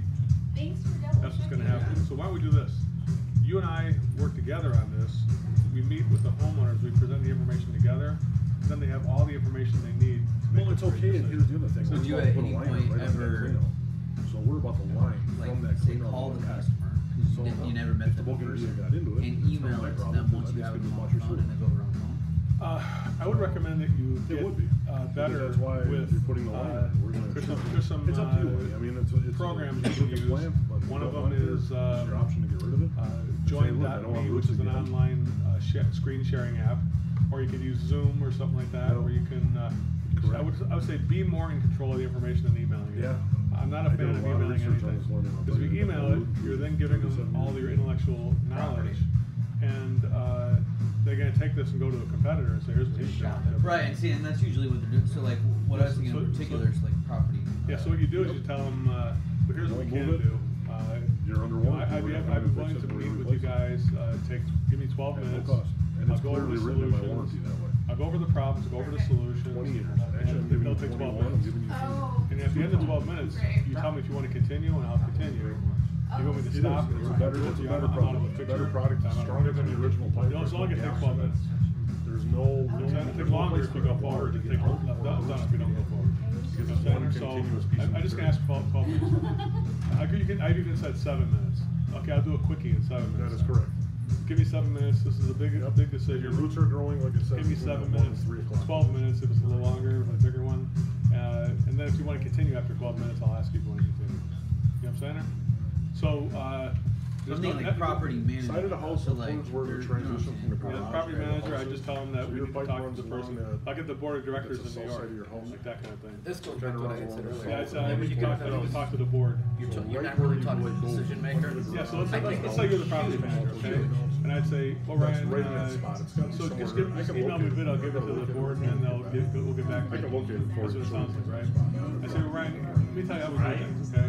We believe Yeah, in I'll put world-class of tape customer down so you can service, actually see it. which means that the board should give, should, should have equal access to all the information. I can show you So they have full disclosure when they make the decision. It's a corporate responsibility to make sure the board members are making the decision when they have all the information in front of them. So if you're telling me to give you like twenty-five percent of the information on the table, the reality is provide or deluge you with like hundred percent of the information about this many Spend manuals time and out. He's stuff. You have about hundred and fifty He's only manuals gonna for give you each a piece of one-year equipment. Yeah, he's only gonna give you a Size, dimensions, materials, This way, you know, for a thousand specs, the- you name it. Then the, the board will sit there with all the information. They will understand. And my job is to help interpret that information. get my girl to send this over to you. Now, if you're gonna remove me from the process, Once you get it, don't hesitate. that's fine. That means I won't even have to make a Thanks, price. appreciate it. We can just stop and we don't need to get a Need to be price. clear. Now, if you want, now, if you want me to get a price, Send, I would have to present it to the we board need to, myself. uh. It's only gonna take seven minutes. contracts We can do it remotely. That can be at different locations. On a Zoom meeting, Buddy Rosenberg. on a join.me, I'll give everybody a Need link. I'll do that. They can all watch it. They can look at it, pick out their Email favorite it, there's no song. doubt we can't give And then if they need more time, we make another day after that to bring it to some. If they need, if they're ready to go forward on that day, we'll Pardon? So, so we do? Rosenberg. Yeah, nobody else is doing it that way. I know, we're different. You know, Mr. Lovely Yeah, So get used to saying we're different. we've already called you. yeah, nobody's gonna. You're gonna hear a lot of people say, "And nobody thought of that." You, know, you probably do now. I mean, you guys right now probably just knowing what you guys do. Uh, I'm pretty sure you hear a lot of times. Uh, I can't believe nobody else even thought, thought of that. Yeah. So- Thirty some feet, right? This works right up your alley. You know what I'm saying? You're already thinking of solutions nobody ever thought of before. Why wouldn't you have a different process than they have as well?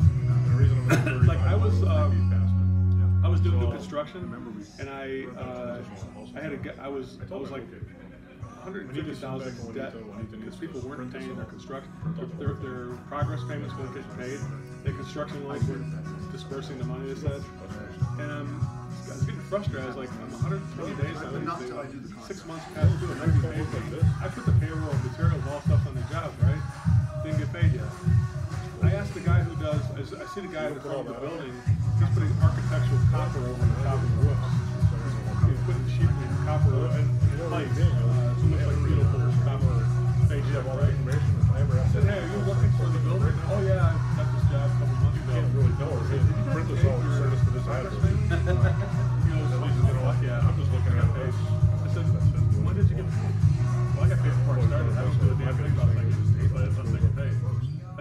so how's that work?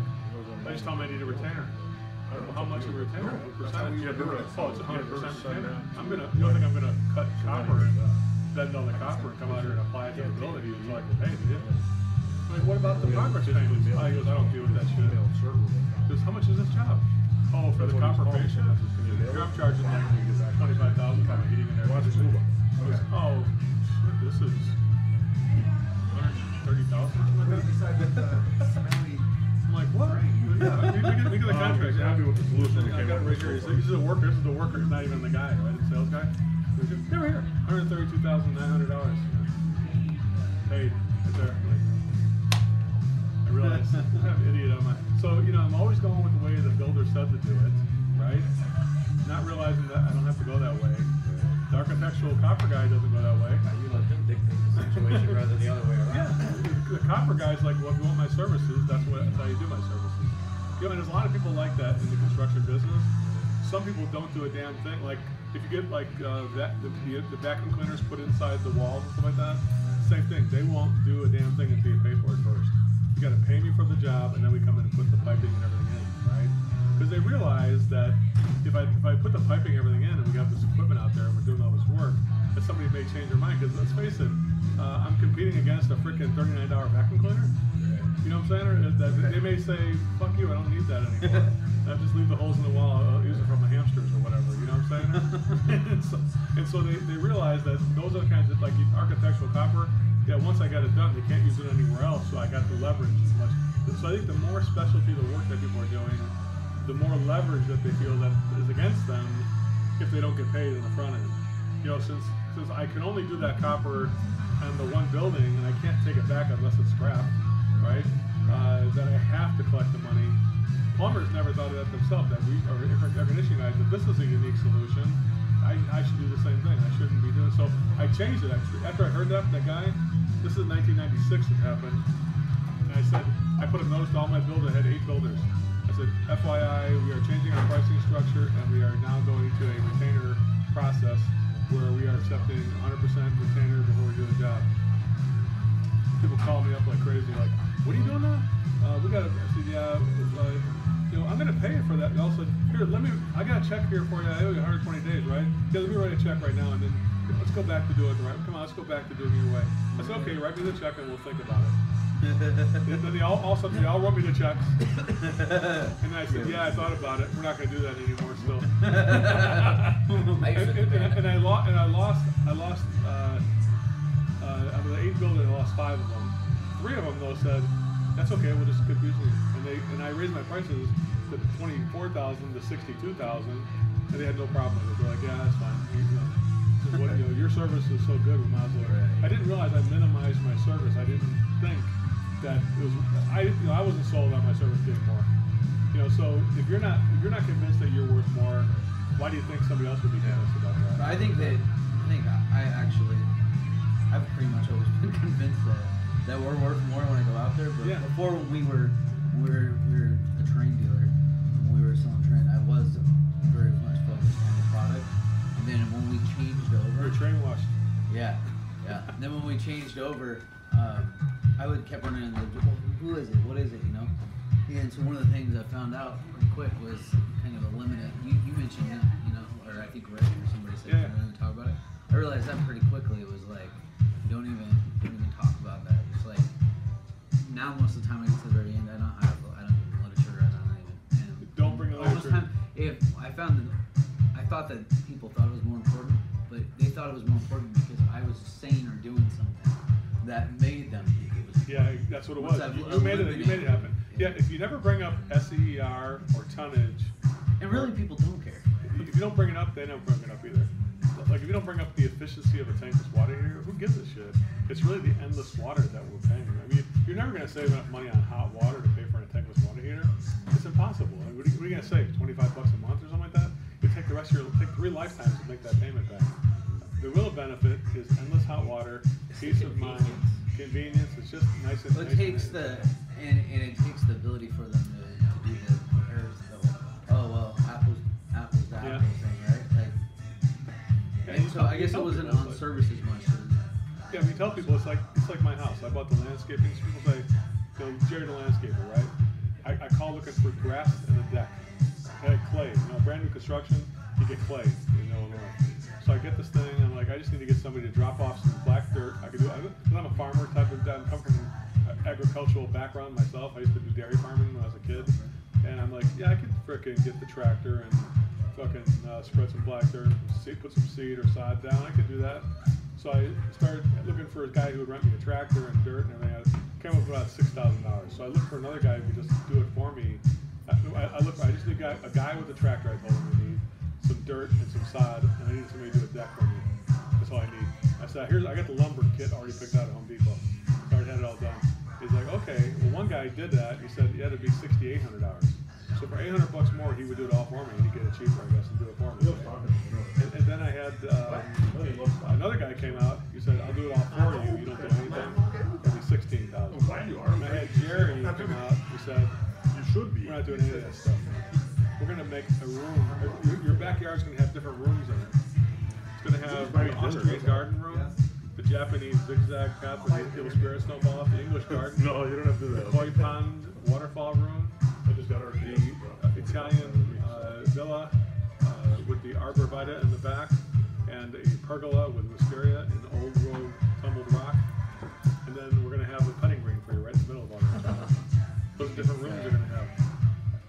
And in the front, your front yard, you're gonna have a room where you sit out front and look at the pond. You and Julie can sit there and hold hands, and that's what, that's what I want for you guys. Oh my god. And Julie's like, we're fucking this. I'm like, I'm like, Jerry, how much? He goes, all landscape lighting. I mow the lawn. I shovel the snow for five years. It's all taken care of. You can't write a check for anything. And I'm like, Jerry, we can't afford this. We, I said, I, we, we, the most I got twenty four thousand. I can't afford those. He goes, well, I'm glad you got twenty four thousand. That's exactly how much down be. He goes, how about this? Twenty-four thousand down, and then in six months, you give me eight thousand a month until it's paid off. What if I said I could do that? What does it cost? Well, what would you think it would be? I'm like seventy-five thousand. Julie's like, you're crazy. It's got to be a hundred thousand. He goes, no, it's only fifty-seven thousand nine sixty-four. What should we do? And Julie's like, let's just do it. Let's do it. so, so, you would think that we spent fifty-seven thousand dollars in nineteen ninety-eight, which is tough, right? right? And everybody's like, you're crazy. It's a brand new construction home. You're never gonna get your money back from this thing. Interesting thing, the house we bought for two hundred fifty thousand dollars. That's how much houses cost in Illinois at the time, in nineteen ninety-eight. This house is in Illinois. It's in Lindenhurst, Illinois, yeah. Lindenhurst. So in the suburb, right? On Sand Lake Road. And then we went to sell the house in 2005, seven years later. Uh, we sold it for uh, 460000 and it was only because of the landscaping. So we spent 57000 on landscaping. There has never been a house in that whole country place subdivision. We, look, we still look at it right every now and then. On Zillow. No, there's no house that's ever sold for more than 325000 and we sold, we, so we sold it for more than 125,000 more than any other house ever sold for because of that landscaping. It's funny because I've heard that. I've heard really. I was actually at a customer's house one time, and I made. He had this beautiful tree in the backyard, right? House was old. It, it was. It was okay. But he was like, "Man, that's a beautiful tree." Yeah, yeah. So, yeah, that's why I bought the house. He bought the house. This I beautiful tree in the backyard. You I bought our house in California. I bought one in Paso Robles because it had a beautiful hill in front of it. Like I look at the front yard, and they had a deck chair, uh, at, at, at, Adirondack chair, sitting there looking at this beautiful hill, mountain, something many mountains we call it, with little horses like thoroughbred. There's a guy with a thoroughbred horse. He was a Wrigley, you know, Philip, Philip Wrigley from Virginia. His family owned this property in Paso Robles, California, and they had thoroughbred horses they raised on this farm across the from us. And then you, all you see is thoroughbred horses like on the landscape on this beautiful green mountain. It's like, oh my god, it's so beautiful. It's the only thing about the house because of that. That one scene, because you can take a picture of that scene and not reconstruct it ever. And it's like, it's priceless. It's priceless. I, I was listening. I don't know what it was. It was like a, a sales thing. It was talking about real estate agents swapping this person the house. Like, oh, what about the, what about the? I don't know if I like this room. And the real estate yeah, but look at the view. And they go, oh, I don't know about this. Oh, look at the view. They kept bringing them back. Right, right. Look at the view. Before you know it, they spent all this money the Rooms can change, the view doesn't change. You're right. The view. Look at that tree. It's true. Somebody, I got somebody's chair. Yours? There you go, bro. I'll get started. Purple haze. Yeah.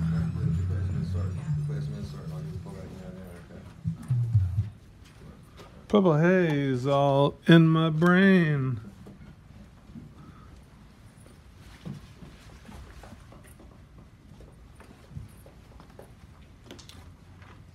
Excuse me while I kiss the sky. Everybody have a nice lunch? Wow.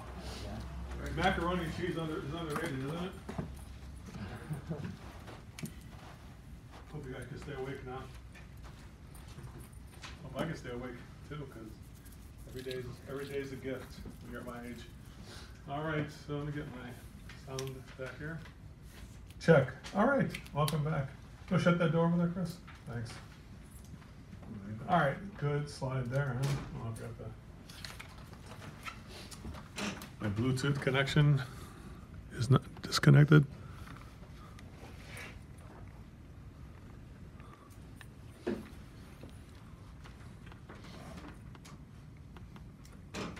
All right, go to the page called Leave Your Mother in the Truck. You guys got that one?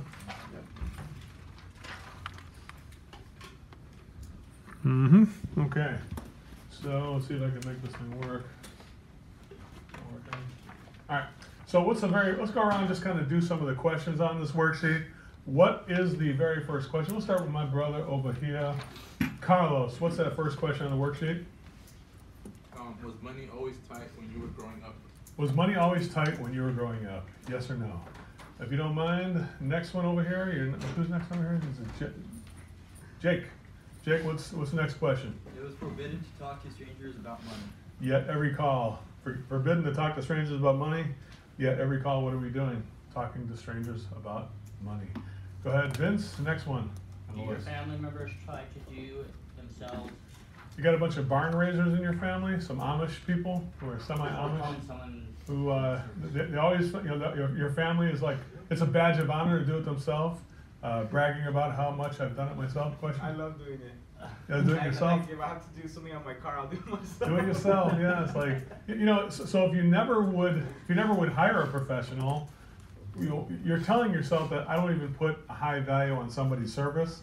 I'd rather do it myself. So if you've never purchased a service from somebody, or you resist having to do it, like if your wife says we got to paint the house, and you're like, let me see if I got my painter's brush and all my stuff.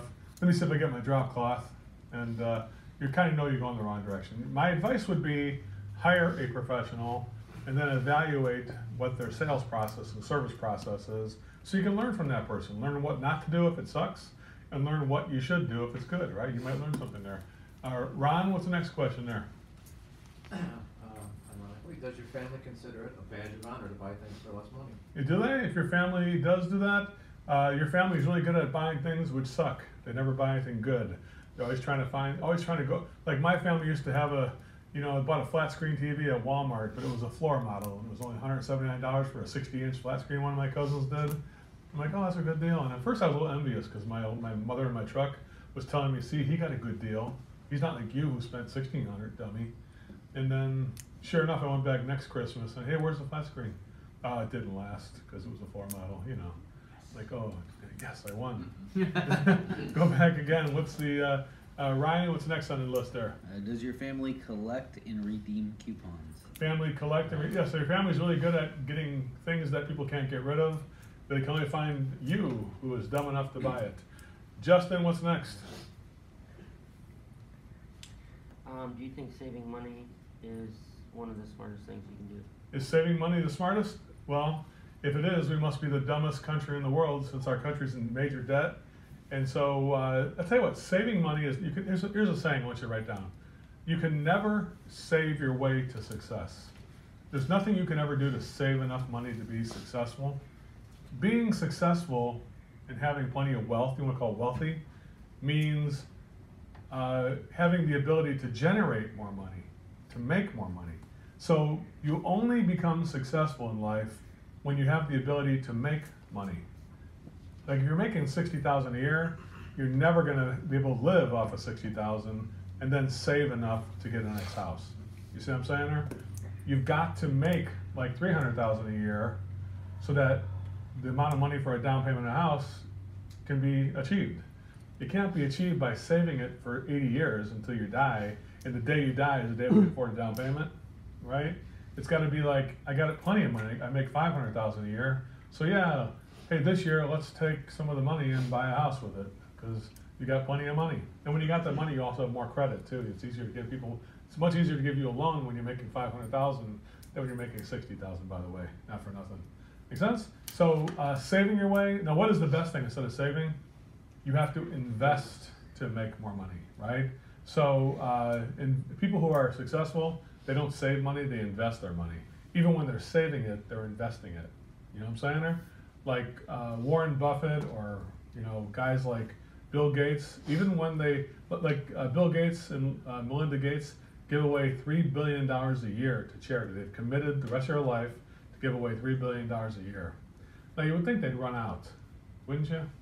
You know, except for they're not going to run out because three billion dollars represents about ten percent of the interest that they make every year on their money. You see what I'm saying there? So how can they give away three billion? They're to run out of money. That's just the interest. That's like ten percent of the interest that they make. You know, Apple computers. You see how much money they got?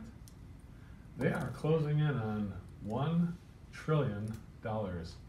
You know how much a trillion dollars is? It's a thousand billion. You know how many a billion is? It's a thousand million. Think about that. The- Apple Computers now has uh, 820 billion dollars in their bank. By the way, the United States Reserve has 450 billion dollars in their reserve.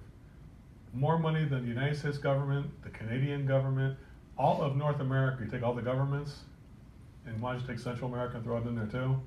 And most of northern, uh, northern South America, they have more money in their account in cash than all those countries' Federal Reserves combined. Isn't it crazy? So uh, what does that tell you? They make money, and they, are they, they ever stop trying to make money? Like just when they uh, they can now rest. We have the iPhone 10. It's X. It's got to be good. That's the end of it. Whew. Thank God they're done with that, right? Hell no. Here comes 11. How'd that happen? What? What? I just got the 10, and uh, you were like a year late on that. And then the 12. It's gonna. When is it gonna stop? I, I don't know. They're gonna rename it as some. They'll stop calling it the iPhone. They'll start with one again. What? I'm not sure when they go back to one, but they're gonna do that, right? so uh, yeah, they just don't stop doing it. They innovate, come up with new solutions, just like you're gonna do. Uh, next on the list is who else is here? Justin, go ahead there if you don't mind. Uh, John. John, go ahead, John. Are you or your family in debt? Are you or your family in debt? If you're in debt, it's hard to uh, uh, to to offer people premium solutions when you yourself are feeling it financially. Make sense? Uh, but the interesting interesting thing is that pure motives mean we can't focus on us. We can't worry about how much money we have. We can only worry about uh, presenting solutions to the customer. We can't worry about how much money they have either. We gotta say, here's the best solution. The solution we have has nothing to do with how much money you have or I have. It's just what the solution, investment for the solution is. Make sense? So don't focus on how much money people have. Don't focus on how much money you have. Definitely that's not the thing you should focus on.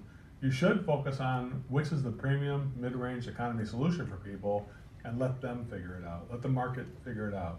The interesting thing is contractors are about the most conservative group of people I've ever met in my entire planet, my entire life. Uh, very much pro right wing more so than left wing. Finding a liberal contractor is very difficult find. Uh, yet, when it comes to their own business, they're very liberal. They allow employees to be working at their company who aren't productive all the time. Uh, like the free handout, socialism right inside their own company, all day long. Uh, the most staunch conservative will have some jackass who can't sell shit on the team. Why? Well, because his family, Christmas was coming. What are you, a job service? You know, it's like, I thought you were conservative. What happened to that? Oh, not for me, just for other people, conservative. You know what I'm saying? It's like uh, when you start looking at it, they're, they're about the most liberal people you've ever seen, even though they say they're all conservative and salute, salute the American flag and things like that. Uh, when it comes to themselves, though, they don't act conservative. They talk conservative. They don't, they don't act conservative, right?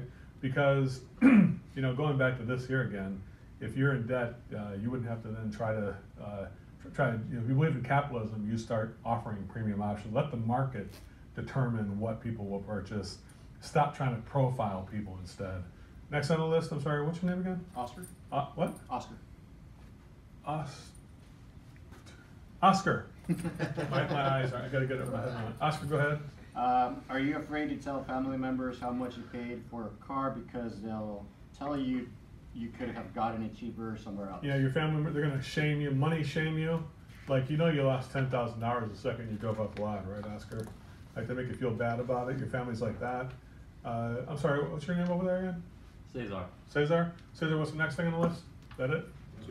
That was it. That's it. So if you've answered yes to any of those questions, uh, a lot of people don't, will answer no to a lot of them. Um, but I think, would you guys agree that this is the state of the way most people in the service business, you know, because the reason is most of us don't come from a Rockefeller or, you know, Bill Gates is not my father kind of a background. I mean, wouldn't it be nice? Uh, Bill Gates said, I'm only going to give every kid $3 million when they graduate high school. Poor bastard's got to live on $3 million. It's like, how, how could he? You should have heard people like, man, I can't believe he's got all that money. He's only, only going to give the kid $3 million. How's he supposed to live off that? You know, you know, it's like, uh, oh, yeah, making him do it himself, right? 3 million? Poor guy. How's he, how's he survive with that? But, uh, you know, it's like, uh, you know, the bottom line is that, you know, if you have your mother, obviously, if you answer yes to these questions, uh, your probability is you have your mother in the truck with you, which means that you bring your family history in with you on calls. Uh, who does have their mother in the truck? Raise your hand if you have that. Anybody? Anybody feel like you think about the family, you're, you're, about the way that you would buy things, or you're afraid of getting people upset about the price? Anybody still have that? Raise your hand if you have that. Yeah. Some people have gotten rid of it, kept the mother, and she's still in the truck. We locked her in there. It's okay. It- you- you- it's, it's funny how this uh, Chris was doing a thing. We had an event in Las Vegas. We had these bumper stickers, "Leave your mother in the truck." And uh, Chris, what what did people say about that? There were some people. It was def- definitely inflammatory, It was, right? Yeah, it was uh, very divisive. Everybody had something very vocal to say to me every time they came over, whether it was good or bad. But most people came over and they were like, mm, "I don't like that. Don't like it," and then I had to explain it to them. But then they liked it in the end once could hear. Yeah, so it just means uh, d- don't let your family history dictate the way you do business, right? It's not that's, that's not valid. Guys, let me just put it this way: thinking about the past is a um, thinking about the past is a fantasy. It doesn't exist anymore. It's over with. It's not real. It's just something that happened already, right? Uh, and the past has no indication or bearing on what's happening right now. And the future is only imagination too. It's not real either, because the future is not promised to anybody. We're no, there's nobody who says we're going to even live tomorrow. You know, so the thing I would say is just focus on what you can do right now. Don't profile people, whether they're rich, poor, black, white, Asian, Indian, white, African American. Doesn't make a difference. You're still going to get the same options from me. I'm still going to make them personalized and customized to you and I'm going to still say, what should we do? And every single time that's going to happen. You know, Starbucks doesn't care who comes into their place. They're just going to serve that same person the same way. They don't change the way. My dad comes in, they still get the same system. It takes a little more work with my dad, but it's not. But they're still going to do it the same way, except they're determined to do it the right way. That's that. So let's go real quick. Who, who knows how to shuffle some cards? Anybody know how to shuffle cards here? card, card dealers? What do you think? Anybody want to do it? There's Justin over here is going to shuffle the cards. So this is, we're going to do a little thing called the card trick. I'm not sure if any of you guys have seen this before. Anybody seen the card trick before? It's a good one. It's a good one. Online. What? Saw what he did online. Oh, online you saw, huh? Well, now you're going to see it in real life. You good? So my buddy Justin has shuffled the cards. Um, all right, so real quick, there are four suits in a deck of cards. And what are the four suits, Jake? The deck of cards. Uh, spades, hearts, diamonds. You got it. One more. Club. Club. Clubs. Oh. Spades, hearts, diamonds, and clubs. Okay? Oh. Spades, hearts, diamonds, and clubs. If you don't mind, uh, let's go back over here to Matt. Spades, hearts, diamonds, and clubs. Pick two of the four suits. Uh, spades and diamonds. Spades and diamonds. I want to thank both. Give you guys a round of applause. Nice job. I want to thank them because Matt and uh, Jake have allowed us to eliminate the spades and the diamonds, and that leaves us with what two cards, what two suits are left over, if you don't mind telling me. Uh, hearts and the clubs. Hearts and the clubs. Pick one of those two. Um, hearts. Hearts it is. Give him a round of applause. Nice job there. Heart. Now write, write, down, write down, looking for a heart. Write down in the book, we're looking for a heart, right? So we're looking for a heart. Now there are two groups of cards. there are number cards and there are face cards. The number cards go two through ten, and the face cards are jack through ace. If you don't mind, Charlie, just pick one group or the other. Number cards or face cards, which one? Face cards. Face cards it is. And Charlie has also allowed us to eliminate the face cards. Nice round of applause for Charlie. And that leaves us with number cards. Now there are two through ten. Um, Nathan, numbers two through ten.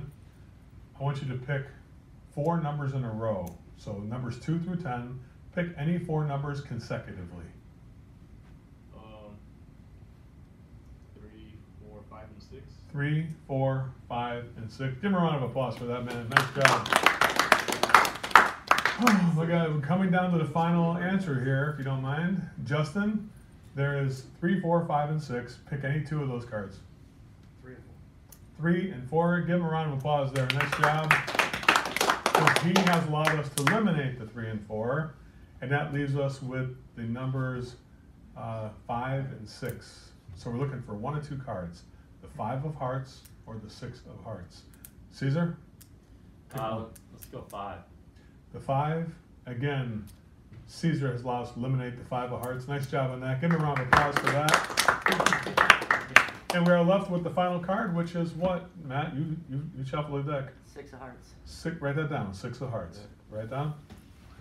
So looking for the six of hearts. Now, this game shows us exactly how the total immersion service sales system works. Okay.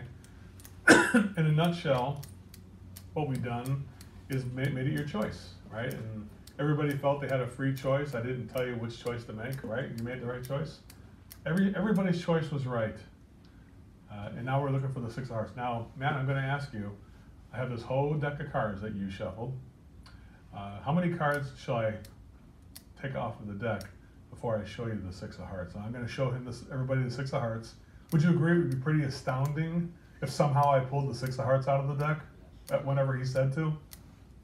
Like, like maybe I might have manipulated the questions, right? But how could I get the six of hearts? It'd be impossible. But Matt, let's give it a try. Pull one off. How much? One. The first one? Mhm. All right, but don't forget it's customary to applaud the magician if it's if it works. If because it may not work. Sometimes it doesn't work. I can't remember last time it didn't work. I think I might have been drinking last time. here it is right here. It's a six of hearts. Right there. All right. Thank you so much. You. Well, you guys know you guys do you know how I did that trick at all? How do I do the trick? Not the card you Well, I'll tell you how I did the trick. Can I tell you how I did it? Now you can use this for your own family. It especially works good when the family's been drinking a little bit. it does throw them off a little. Like, how do you do that? well, we did it again. It's gonna be like that. Your mom's gonna be like, "Do it again, honey." Um, so, how does he do that? He's a, he's magic. Uh, so the six of hearts. So just so you know, when when uh, Justin shuffled the cards, he only shuffled 51 cards because this one was always in my pocket the entire time. Mind blower. How the hell did you get the six? Crazy, huh? What? How the hell did you get everybody else the six? Well, he didn't, he, see, he didn't even see that, did he? Yeah. Some, some people see it, some people don't. Here's how I did that. So when somebody said, like, like somebody, I had three, four, so number one, I said, number cards or face cards, right? And somebody said face cards. I said, great, good choice. Let's eliminate the, eliminate the face cards. That leaves us with number cards. Now, if you had said number cards, I would have said, good choice. It's number cards. Because I needed to have a six, right? If it was a queen of hearts, I would have said number cards or face cards. Face cards. Perfect. Uh, it's a face card. It's two face cards. You know, so I so now he said three, four, five. Name four cards. He said three, four, five, and six. If he had said seven, eight, nine, and ten, I would have said eliminate those cards. Pick four more. And if he had said two, three, four, and five, eliminate those cards, leaving us with what card? If he had said three, four, five, and six, I said good choice. Let's keep those cards. Pick two of them, three and four. Eliminate them. We got five and six. Pick one. He does pick the five, the wrong one. But I said I made I made the made the wrong thing right. I said good choice. Did I argue with anybody when you chose the wrong thing? Frequently, people chose the wrong thing. You know what I'm saying there? You didn't even know it was wrong though. You just thought it was right. So that's the key of the system. The key is when the customer likes something or hates something, they're always right. So the customer is always right in this case. Like that top option is way too much money. I'm no way am I ever doing that crap. That's way too much. Good choice. Let's give him a round of applause. Yay! Let's get rid of that one. It's too much. How about the ones after that one? That's too much too for twenty-one thousand. Good choice. Let's get rid of that one too. Yay! About the next one? That's better. Sixteen thousand. So what should we do? Can we get that done this week? Well, if I move some things around and said I could get the work out, work done this week, what would happen then? We just do it. All right, so what should we do? Let's just get it done. Yay, we get it done. You know what I'm saying there? So that's how the card trick works. So the card trick is present in every game. Let's read the questions on the worksheet. You guys got the questions there? Let's go over to the left-hand side of the room. I'm not paying enough attention to my, my friends over here. I don't even know their names. Nathan, back to you again. What's the first question on that worksheet? Uh, what is the value in telling people good choice when they decide? It raises the self-esteem of the person we're working with, right? It makes them feel like they're doing it the way they're supposed to. Oh, good. The top one sucks. I hate it. Good choice. Let's get rid of it. Oh, okay, good. You, that's okay? Of course it's okay if you don't like it. Can I tell you a secret? What? I hate that one too. you do? Yeah. Why'd you do it then? Because they had the best customer service, but you know, it's not for everybody. So what should we do? What's that one for thirteen thousand in the middle? That one? That's a good choice. What do you like about it? Right? So that's what I say there. Good choice, really good. So what's the first question again? What does it say?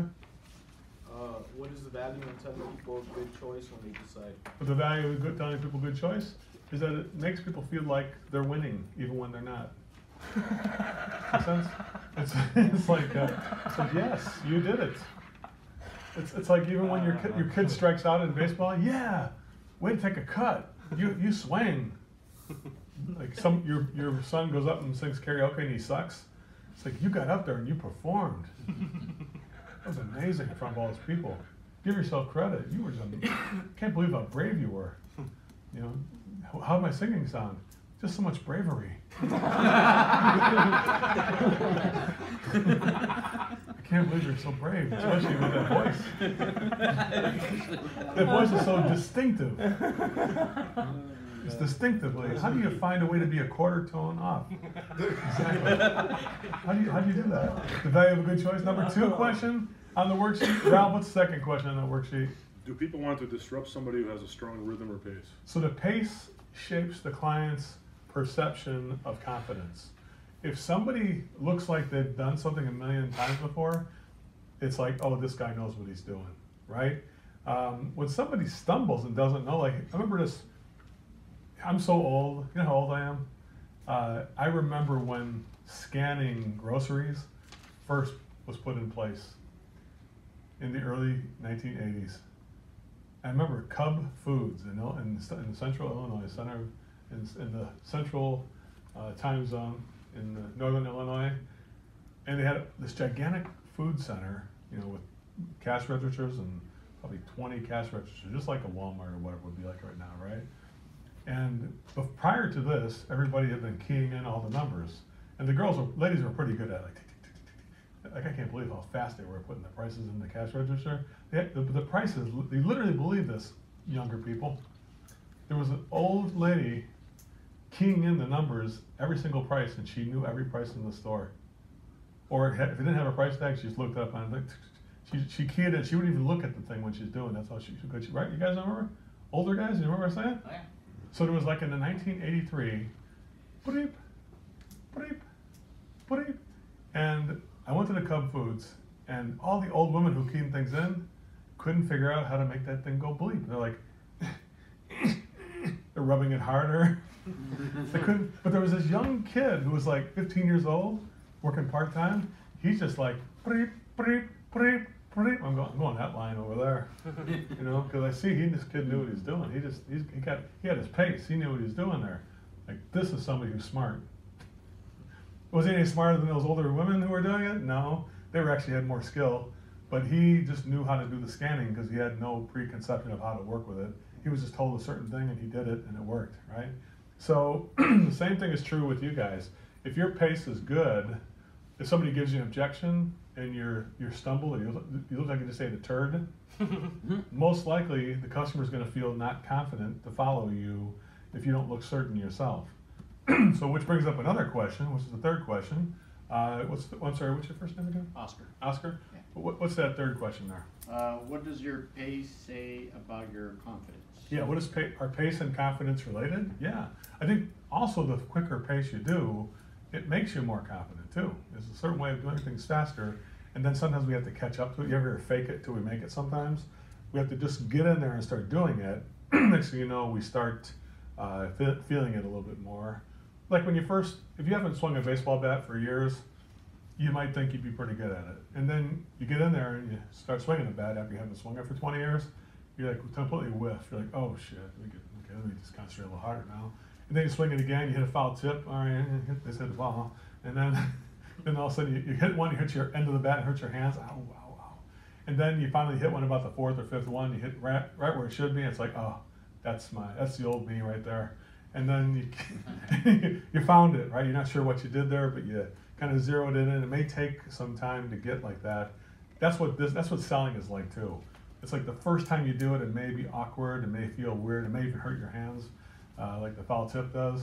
But when you hit the ball squarely, there's no, there's no feeling like it. Just like when you sell something the right way, it just there's nothing that feels just like it. It's like it's like hitting a ball and just watching it soar like a like a like a like a what do you call it? One of those balls that bounce, the super balls. Remember those things? So here's the fourth question. This is an interesting one. Uh, the positioning of the choices does it make a difference? The way we position our choices? Sure. Yeah, it does. I mean, uh, let me go over a little bit about the science of pricing. Let's go ahead and turn the page. So obviously, you can. I'll, get, I'll have you write the answer down once you listen to these slides here about giving options out the name. Let me about. It's not, I think it's too quick to show you the science behind the options. There was a study done by New York University, a major university, that found uh, that when they did a study on the science of uh, service, that many people just had a flat rate price, and that uh, the average plumber, for instance, charged about two hundred dollars to fix something, the drain cleaning or a faucet cartridge was two hundred bucks. The only thing was when they opened the flat rate book and showed people the price of two hundred dollars, the customer, the consumer, on three hundred service interactions, that as some people from the university followed along with the service person, that they, they found that the job was only completed twenty-three percent of the time. But when they did complete the job, they sold two hundred bucks. But two hundred bucks was the only thing they offered generally, a little bit more, a little bit less sometimes. So the average sale was two hundred bucks. So on hundred calls that were sold, they made twenty thousand dollars, right?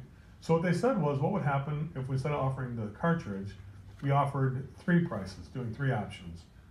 You ever hear good, better, and best, right? So good, better, and best is the complete opposite of what we teach, just so you know. So this program is not good, better, and best. Good, better, and best would mean we start with the good, we upgrade to a better, and we do the best later. Make sense? If we did that, the closing rate would go from 23% to 38% by doing that. And they would sell about $12,000 more on the same calls. So just by offering, like instead of the cartridge, the cartridge, instead of doing that, you do the economy faucet. Then the economy faucet, you go from there to a more of a premium faucet for 600 bucks. And that's what they found. But look at this, 40% of the people were purchasing the more premium options, so the price, amount of money they made on the same calls, and they sold it more frequently too, uh, was $32,000, right? So they said, what would happen if we did, instead of good, better, and best, the upselling model, and so you, just so you know, the total immersion system is not upselling, it's not good, better, and best, it's the complete opposite. Don't say, do not tell anybody this class is about upselling. Don't tell people it's good, better, and best, because it's not, it's the opposite. Instead, what we do is we offer the premium mid-range economy. And this university, they did a study on it. They said, what would happen if we just flip the numbers around? Instead of starting with 200 bucks, we started with 600 bucks. And we keep the 400 in the middle, and we end with the cheapest thing. Well, as you can see, the closing rate went up to 63% on these, so instead of 38% to 63%. And they made $42,000. They doubled their revenue, and they closed two thirds of the jobs by doing that way, about 63% of the jobs. Make sense? So just stop right here. Which way do you think you should do it? One price, three prices, starting with the cheapest one or starting with the premium one, based on the results you're seeing here? What do you think? The last one. Starting with the premium, right? That's what I deducted too. I did the same thing. And premium, mid-range economy. Uh, here's an interesting fact though, that kind of look at the statistical analysis here.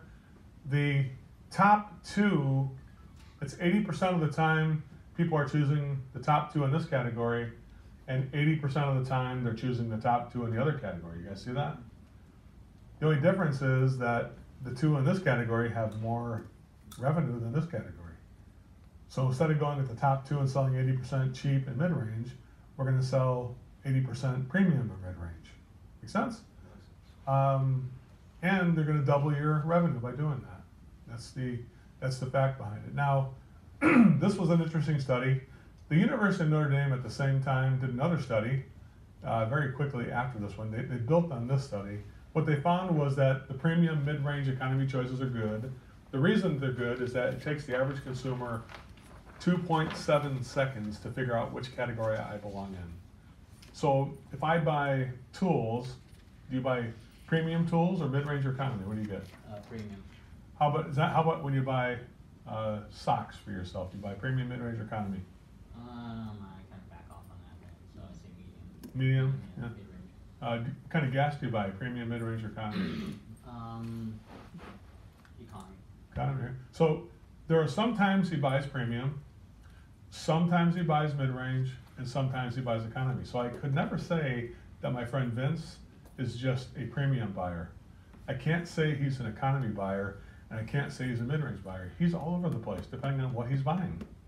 Would you guys agree with that? Would you say yourself that you may buy premium coffee, but then you get an economy breakfast?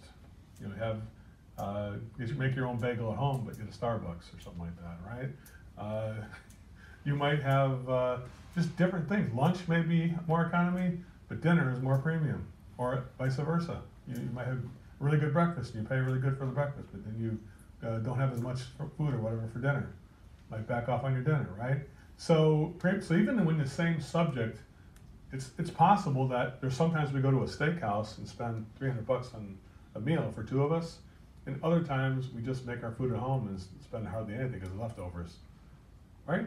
You don't know. Every every every day is different. Every meal is different. So for us to go to a house and say, these are Indian people, they're probably not going to spend a lot of money, or these people live in East LA, probably don't got a lot of money. Oh, these people live in Beverly Hills. Shit, they're going to buy a lot of stuff. Yeah, right. That would be the most. That would be the most uh, incorrect uh, thing you would ever think, because there are people in Beverly Hills who don't spend a lot of money, and there are people in East LA who would buy a lot of stuff. There are people everywhere who are different. There's, you know, Indian population has the most spendable income of any group of people in this city. The most. They have more money than anybody because they're involved with softwares and they- they don't spend their money on goofy stuff. They only get stuff that's perfect for. The, like they may look like they're not rich, but the guy who lives like he's got lives like he look, looks like he's living in a poor place might have eight million dollars in his bank account. You don't know. We don't know. Uh, he probably does. Uh, so don't assume anything. Don't assume. I mean, if you're assuming Asian people don't have money, you're about the dumbest person I've ever seen in my entire life because they have more money than just about anybody. I mean, they, they made a whole movie about it, right? crazy rich Asians. They even they're, they're not crazy though, but they're just rich. Some of them, you know. So not all of them are. Some of them are, right? So don't don't think you can't say all Asians are rich. You can't say all of them are poor. All of them like to negotiate. That is the dumbest thing I've ever heard. You know. Uh, so there's no need to try to profile people and think you know what they're going to do. By the way, even though there are differences between myself and an Asian person, uh, there's a lot more that we have the same than we have different. The only difference is I, I'm originally my family comes from Italy, and I was born here in the United States, but they were born in Asia somewhere, and they moved here. Uh, but they probably speak English just as good as I do, or better. And most likely, they probably did better in math than I did, in science than I probably did. And uh, most likely, uh, they probably have more money than I had at the time. Not now we're about even, I think. But back then I didn't have as much, you know. But uh, you know, I don't make any assumptions about anything. It's like, uh, and we have both have fathers and mothers and houses and education. There's so much more that's the same than it is different. The only thing different is the way we look and the country we're from. Everything else is the same. We need transportation, education, insurance, everything else, our jobs. We, we have much more in common. We face the same traffic every day. It's all the same. The only thing different is where we are from. There's only two percent of things that are, that bind us are the things that are different. Everything else is uh, actually the same. You know what I'm saying there? So uh, it's not mysterious. Uh, heck, I don't know if you know, but Beverly Hills in Los Angeles, uh, did you realize that uh, 70% of that population is Iranian? Or they, it's not Iranian, Persian? They don't want to be called Iranians because they moved from Iran to California when the uh, 1979 when the uh, fundamentalist uh, thing took place, and all the rich people moved to California, and they eventually bought Beverly Hills, and now they call it Tehrangeles because that's where all the rich per- Persian people live, and they, they didn't get rich rich from Iran. They just built their they built their wealth, and as a group, they live in that area. You know, I was surprised when I, my son played basketball in Beverly Hills that most of the teammates were per- Persian kids. You know, and they're really good. They speak really great English. They're just uh, good people like anybody else, right? So the bottom line is this. Uh, these are all things that, uh, now, the University of Notre Dame did a study. What they found was, instead of giving us one premium mid-range economy, what would happen if we did two? Two premium, two mid-range, two economy, and the premium one had to be five times the amount of the economy one, but you had a choice of two things. So if I know in 2.7 seconds which one I am, so let's say that my friend Vince is a premium tool buyer, which category would you be looking at then, Vince, if that's the premium tool you were gonna buy? Um, The top one. The top. So now the question for Vince would be, well, Vince, we have two premium, twelve hundred or fifteen hundred. Uh, what should we do? Which one of those two would you like? So now I'm, I'm asking him which one he would like. If I only had one choice, like back here again, go back on this screen. Your premium, how many premium mid-range? One premium, so it's one premium, one mid-range, and one economy, right? And you'll have one choice, Vince. The question is, do you want to buy that one? Yes or no? So if I only had three options, the question is, what do you think? Yes or no on the top. So Joe, how do you normally buy things? I'm more of a premium buyer. So there it is, six hundred dollars. And then Vince would be thinking, that's the best. Isn't there something better? No, that's our best, six hundred. Okay, I gotta shop around still. So is it yes or no? So the question is 50-50, flip a coin. He might even keep shopping for more. Now, if I offer this, it's the magic of Best Buy. You ever see Best Buy? Hopefully it'll still stay around. I'll probably I'll probably be out of business too soon. but but back when people used to walk into stores, uh, you know, you go to Best Buy, they, they say, you know, uh, hey, welcome to Best Buy. How can I help you? Well, I'm looking for a flat screen TV. Okay. Uh, do you want the new technology, the 4K TV of the future that we don't even have the tuners for yet? Or do you want the LED, which is current technology? Or you want plasma, which is old technology? Uh.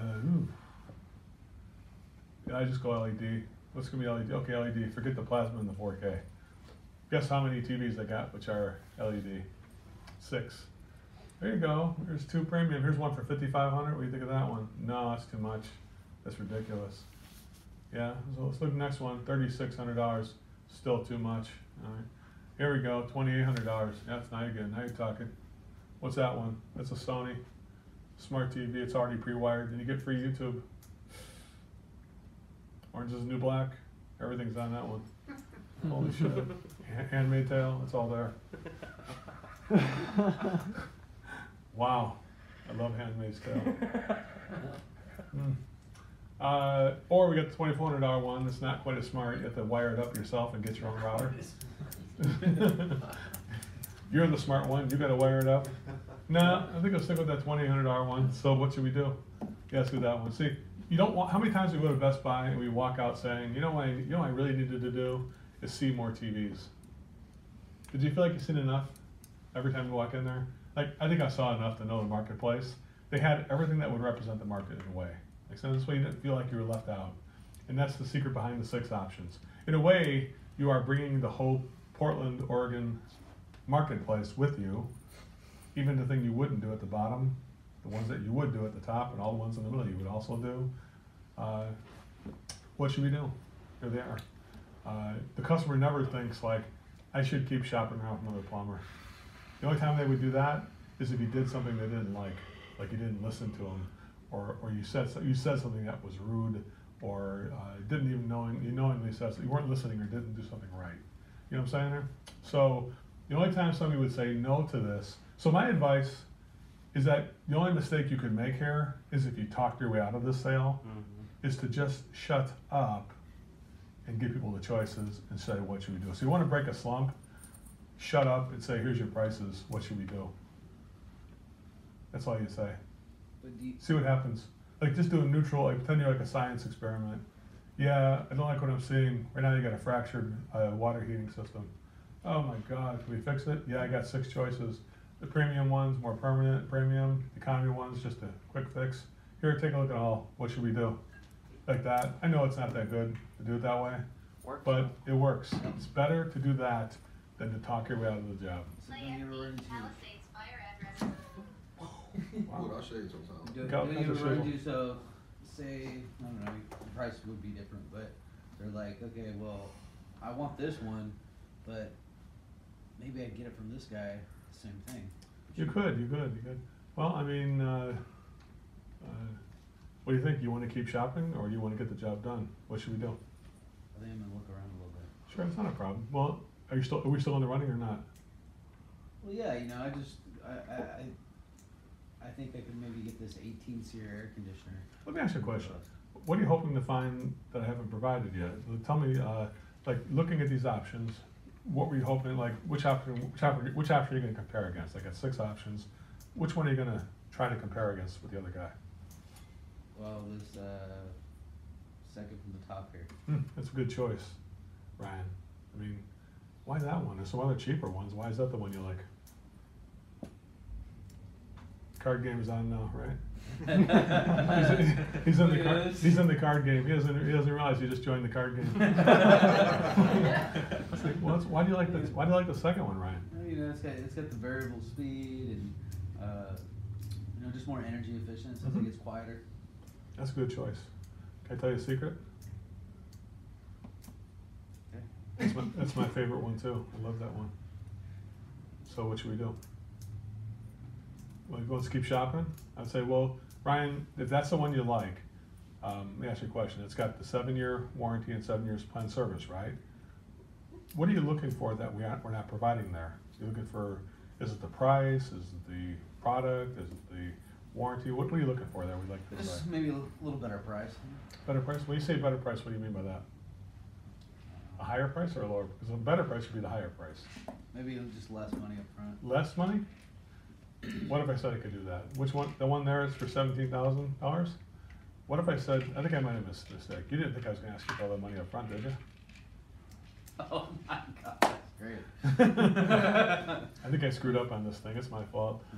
What if I said it would only be, uh, three hundred thirty-six dollars a month, and you could just use our money for free for eight years, what would happen then? Might be difficult. Uh, I don't, I don't like to finance anything. We're, we're not, it's just a bridge loan, so what should we do? See, financing is bad, fin, write this down, financing are bad words to use. Never use the word financing. Say the word, say the word, the word bridge loan, if you're gonna use it. You will use it in the future, if you don't use it now, you will. So, so get, get used to learning it, because it will be a fact of life, because as your prices get higher, the need for need for bridge loans will be more apparent. So it's not, never financing, it's a bridge loan. What's a bridge loan? Well, you get to use our money for free for the next eight years, ninety-six months, and anytime you wanna pay it off. It's only the bridge between now and the time you wanna pay it off. So what should we do? Free money for eight years? Yeah. Holy shit, how can I not do that? Those are the words that are working right now. What doesn't work is financing, doing all that kind of, doesn't, doesn't work. I've been using that bridge loan since Vegas. Does it work? Well, it's surely better than financing. I Magic. think people. They're magic words, do it, yeah. bridge loan. Yeah, so that's that. So anyway, question?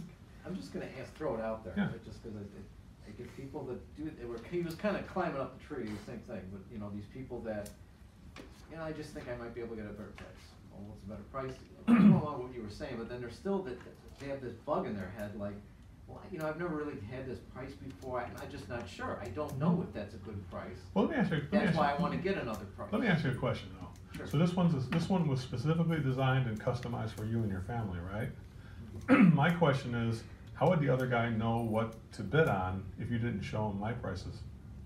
Like, how would he know what to do? Uh, Are you gonna, are you gonna show him the information? How would he know, how would he know exactly what to bid on if you didn't show him this information? I guess I'm gonna share with him what you've shared with me. Can I go ahead and uh, stop you right there? Sure. Th- That's why I'd have to withdraw myself if you're gonna do that. Because, because uh, this is intellectual property you'd be sharing. So I don't mind uh, you having to shop with him and buy from him if you want to. If you wanna purchase from him, then purchase from him. But if you wanna purchase this solution, this stays with me. Because this was customized for your family based on what I learned about you and your family. And what I can't let you do, which is not ethical, is to force my solution onto him and make, and have me set the bar for him to do this work. He's never gonna understand the work we do because he doesn't work for our company. And it wouldn't be fair to you too, because he might say he's gonna do it, not even understanding how we're achieving all this work. And you're, not- you're gonna get fifty percent of the work you're providing, but not getting all the solution. So, if we're gonna do that, we should probably just withdraw the bid and you could just find another guy. Should we just do that, or should we continue? What should we do? So, just real quick. So, so I did there, uh, that's kind of, I'm gonna have to withdraw if we're gonna, how would you ever know about the price we have here? I just show it to him. Really? I mean, cause if you did that, that would be intellectual property theft. It wouldn't be ethical to do that. And it wouldn't be ethical for him, cause we'd be forcing him to our standards of work. And it wouldn't be ethical for you, because you would be getting fifty percent of the work you're doing, cause he's gonna promise to do it, but he's not gonna know how we do it. He doesn't work here. You know what I'm saying? So at the, so at the end when you present it, right, so you show them the price, uh, you're, Mhm. you're right down to it. I mean, obviously the goal is not to come back, right, so you're never, at no point, you're go gonna back. leave them, uh, or, or go back, but. Well, I mean, uh, You're first, never have- gonna leave them. a first let's go through the whole uh, scenario. First, let's play all the cards out the way we play them out. If it comes down to Joe, no matter what you do, we're not going to go forward today. There's nothing we can do. No, nothing we can do at all. Okay, that's fair. So at this point, are we still in the running or not? Oh yeah, I you're the, you're in the lead. Okay, good. Because I mean, if somebody says, "Well, I like the other guy better, but I'm just going to still keep you around anyway," I would say, "Well, if you're confusing my option with the other guy's option, then I'm going to go ahead and make the decision for you today. I'm going to withdraw my services if you already like the other guy better. If the if he says you two are just about the same, I'm not sure who to go with. I would say I'm going to make that easy on you, Ryan. Uh, I'm going to go ahead and just withdraw my bid and let you go with him. That's called truth serum. Because if I tell you that we're even, I'm going to do something he's not going to do. I'm going to withdraw myself from the process and see what you think of that. Holy shit! Why would you? Why would you do that? They're gonna say. They're gonna say, why would you do that? Well, because uh, if you're confusing my service with some other guy's service, I haven't done a good job. I don't, I don't deserve your business. Uh, I know we're way better than Acme. Um, I just haven't done a poor job of communicating that to you. It's my fault, not, not yours. So just go ahead and go with Acme, and I wish them well and wish you well. And it was a pleasure talking to you and your family. So it's okay. You don't need me. Just use them. And that's the true serum. Because they're going to say one of two things. They're going to say, well, don't be like that. I want to use you. All right, so what should we do? or if they say, yeah, go ahead. I was going to not use you anyway. See, doesn't that feel better to hear the truth? so, so it's, be- it's better to get a no. Here's, here's, my, here's my challenge get a no to your face, and you'll get less no's. That's your aha moment. Mm. If you make people tell you no to your face, or you tell them no, you're gonna get fewer people to not go forward with you. Here's a clear statistic. If you get an outcome when you present your solutions, whether it's a yes, a no, or another appointment, and you get people to tell you yes or no to your face, 86% of the time they're gonna say yes. You're only gonna lose 14%. Make sense? So uh, it's just that simple. get people to tell you no. If they won't tell you no, you tell them no. Well then, Joe, if, if you're looking at me as I'm the same as the other permaliner, I know we're better. So at this point, let's just say, let's just face it, I've done a poor job of communicating our value. So at this point, I don't deserve your business. I'm going to go ahead and disqualify myself and have you use the other company. And if they say, don't do that, I like you, Justin. All right then. If you like me, what should we do? All right, let's do that third one. That's what happens. Like one second ago, they were going to wait on it. Next thing, we're buying from it, right? Now, I'm only going to do that if we're the same or the other guy's better. Yeah, I, I like him better. I like his company. I've been using it for years, and I just feel funny changing at this point. Well, if you think that we're not as good as the other company, or we're equal even, I'm going to recommend you stay with them and not go with us. Because I don't, I- if I haven't communicated our values to be better than theirs, we should clearly be better. If we're not better, I say go with them. So we're gonna go ahead and make that easy on you. I'm gonna disqualify myself. What? Why would you do that? Because I just don't wanna, if you're confused as to who's better, I, you shouldn't be confused. I, you should be perceived as, well, how do I know you're better? Well, let me ask you a question. I created how many choices? Six. Were they personalized and customized for your family? Yeah. Well, did he, how many, how many choices did he create? One. And were they personalized and customized? Yeah, they had Trane on there. Yeah. Uh, so he's selling BTUs and C- uh, SEER and all that stuff. And I'm hesitant to do that. I'm focused more on your family and providing the value for your family and the comfort and taking that money and saving it and put it in, in, in things that are not the equipment, the ductwork and everything else. So what do you think? You want to do it the, you want to do it that way? Buy from him. Do it our way where it's more customized, personalized, you get more choices, then you work with us. So what should we do? You know, if you worked in a place like he's working at Ryan, these guys are working, there's not, there's, there's not very few people who are actually doing this on a consistent basis. There's people who found their way there, like Jacobs and Oregon and uh, Heating and a lot of companies who worked up there before, uh, but they're not consistently doing it. They don't have the commitment to doing it every single time. If you do it every single time and everybody's doing it in the company, then the company gets better. And you say, well, what, how am I going to compete with the other guys? Well, you're the only guys who are doing this right now. You should be at the sharpened edge where they're not. You know, whoever does this better. You said before we were doing four or five, right? If I was if I was selling against you, Caesar, I would say, well, how many did they do? Uh, I think it was four. Yeah, so we did six. So they're leaving out 33% of the solutions. What else are they hiding from you? Yeah, shit. Yeah, so what should we do? That's what I would say. You know what I'm saying? So, uh, so anyway, that's uh, any questions on this? What do you think? That, you see, how did I come up with this? Well, I think I told the guys at the Vegas event. Um, I came up with this because uh, there was a time in my life I wasn't doing that great. Uh, back in the, uh, I, I found the perfect way to find the wrong woman. I found the perfect way to run a business the wrong way, to where you run. I made 1.7 million dollars, but I was still 250 thousand dollars in debt. Had a couple big jobs that went belly up on me in uh, northern Illinois and Lake County, Illinois. I had 15 guys working for me, making 1.7 million. We're doing pretty good by all standards. Heck, we made our two percent net profit, just enough to pay our taxes, and then uh, that was it. And uh, sure enough, I had a financial disaster. My wife divorcing me; she was bipolar, and we had a situation with the um, these two companies that went belly up. So I wound up to be two hundred fifty thousand dollars in hard debt, meaning that I spent all the money, but I still owed two hundred fifty thousand dollars. I didn't have any assets for that money.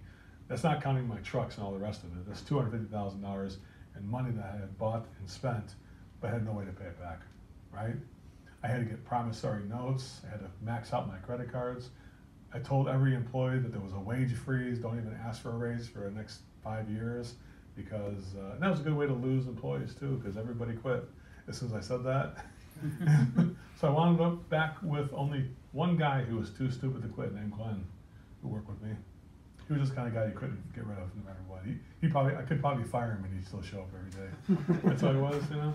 And so uh, I was training Glenn was an installer. I was training him how to be a service guy. And then Glenn, Glenn and I went to a house by a guy named Dave Muller in uh, Gurnee, Illinois. He was at a place called Heather Ridge, a condo association. Uh, so Dave Muller's house, and Dave said, "Hey Joe, let me ask you a question. How's business going?" I said, "It's going pretty good, Dave. We're doing good." He goes, good, doing good. Now, Don't you have like fifteen trucks? I said, yeah. He goes, I see the trucks. I, I, go to Jesse Oaks, the, uh, for breakfast every morning right across street from your shop. And I noticed the fifteen trucks, every morning they used to move every morning. But now they just stay there and they don't move. Is there something going on at your company? I said, yeah, I'll tell you what's going on. It's my wife. She's divorced me. It's a frickin' Carrier I owe that money to, eighty thousand dollar promissory note. It's the frickin' two guys who went, screwed me on that deal on that job I had, two jobs I had, and two different contractors screwed me. That's what's going on. The economy, with Clin- with Clinton in office, you can't do a damn thing. And, he- and Dave said, you know, Joe, I've heard a lot right now, but I haven't heard anything about the real person who's at the center of all your problems. There's one person who's involved with all your problems, we haven't mentioned them yet. I said, what, my, my wife's uh, mother-in-law? Mother-in-law? No, no. And he's like- he's like- He goes, you, you haven't brought yourself up. I said, what's, what, he goes, I tell you the problem, Joe. You're always trying to save people money. And Dave told me, here's how you should do this. He goes, I use a, phar- he's a, I sell pharmaceuticals. Here's how I do it. I I work in medical clinics, and I sell medical clinics pharmaceutical supplies. And I give them a premium, mid-range economy packages. I have two premium, two mid-range, two economy. He showed me how he did it. I said, yeah, but that's not gonna work for heating and air conditioning and plumbing. It works, Joe. Let's try it once. I said, what, what goes wrong on a furnace? So I said, well, igniter. So I said, okay, let's do it. So what do you, you charge for an igniter? I said, well, seventy-five bucks if I can get it. He goes, let's bring up to hundred twenty-five. I said, yeah, nobody's gonna pay that, Dave. He goes, well, what would, what would the whole ignition system be? I said, I don't know, nine hundred bucks. How much you charge for a service agreement? I don't even have a service agreement. How much you charge for tune-up? Fifty-eight bucks. He goes, yeah, let's make it like hundred fifty bucks. Hundred and fifty, nobody's gonna buy that. Yeah, times two, let's do three hundred bucks here. So he's do that, so he's got the whole thing. We figure out the top option was nineteen hundred and seventy-nine dollars, five-year warranty, five-year service plan, and the whole ignition system, down to just the igniter for one twenty-five, right? Nineteen hundred, fourteen ninety-seven, twelve forty-nine, nine sixty-two, four ninety-seven, and one twenty-five. Those are six options. Because next time you have anything wrong with the ignition system, just show people this option and just say, what should we do? And shut up. Shouldn't I explain it? Shut up, Joe. All right. Very next customer we go to, it's like, her name is Linda, and I'm with Glenn, I'm like, holy shit, Glenn, it's a bad igniter. What did Glenn, what did Dave say to do? I remember he said, shut up. So, don't say anything, whatever you do, Joe. I said, damn it. I said, Glenn, you gotta explain this to the customer. He goes, no, no, it's your job, you gotta explain. You don't, you own the company, I'm just, I'm just learning this, remember? He goes, okay. So I go up to the customer, I say, Linda, yeah, one of my customers, Dave, told me to do this. Uh, he said I got some premium, mid-range economy solutions. The top one costs more than the whole furnace does, actually, because the furnace that back then I was charging was fifteen hundred and fifty dollars, something like that. For an eighty percent furnace I was charging, it would've been. Well, that's, uh, yeah, that's crazy, right? And, uh, she's like, are you crazy? Nineteen hundred and seventy-nine dollars for this? That's ridiculous. I could spend more than the whole furnace. And I'm like, that stupid Dave is so wrong. Can't believe how wrong he is.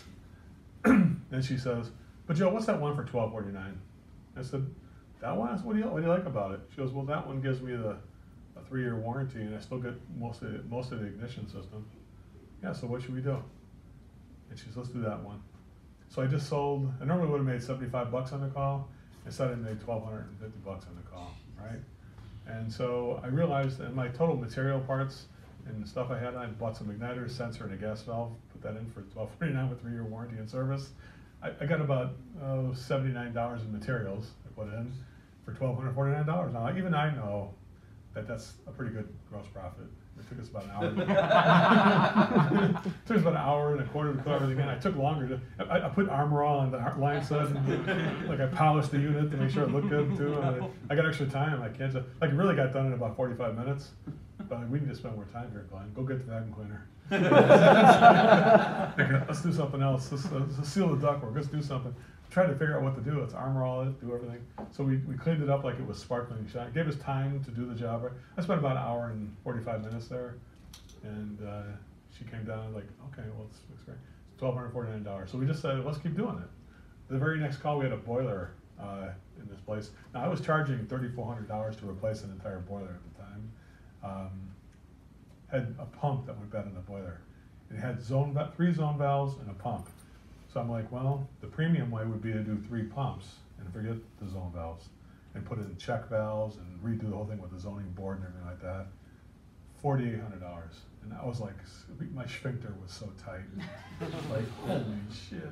Five-year warranty, five-year service, three pumps and all this stuff I'm doing, forty-eight hundred bucks.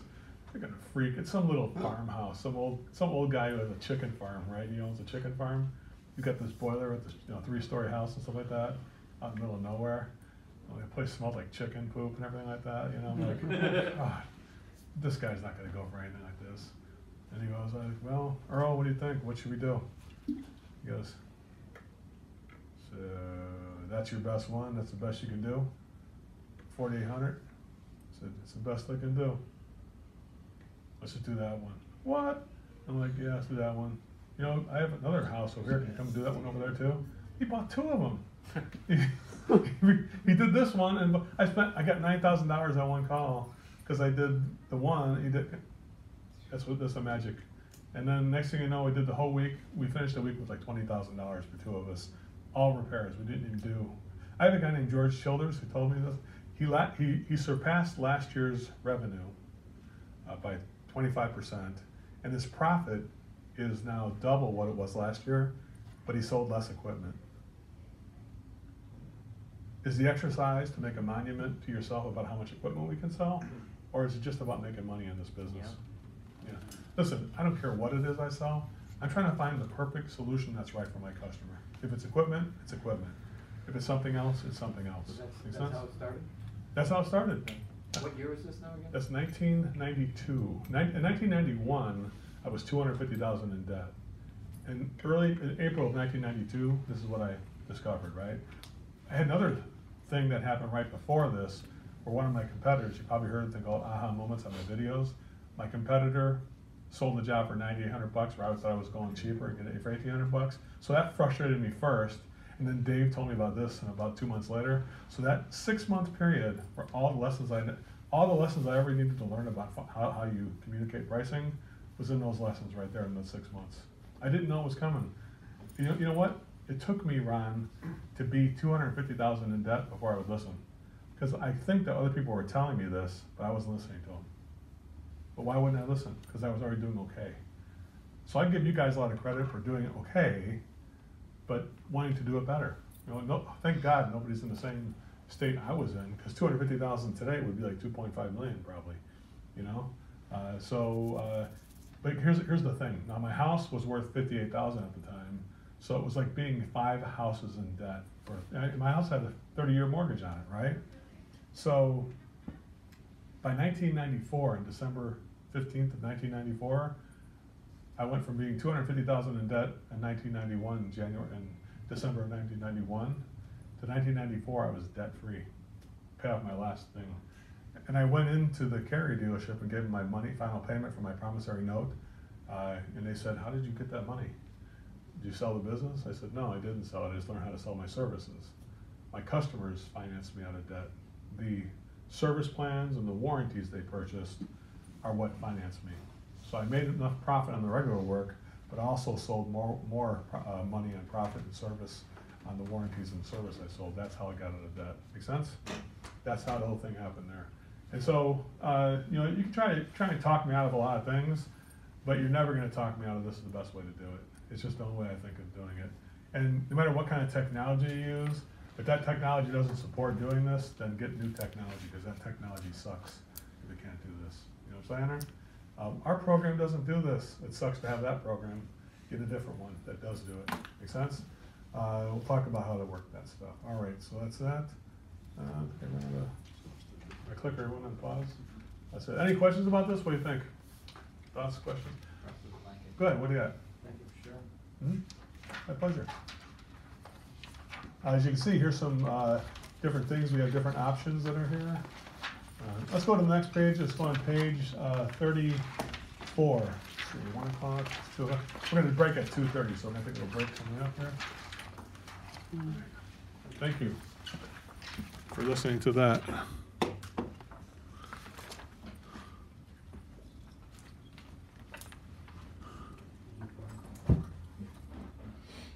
Wow.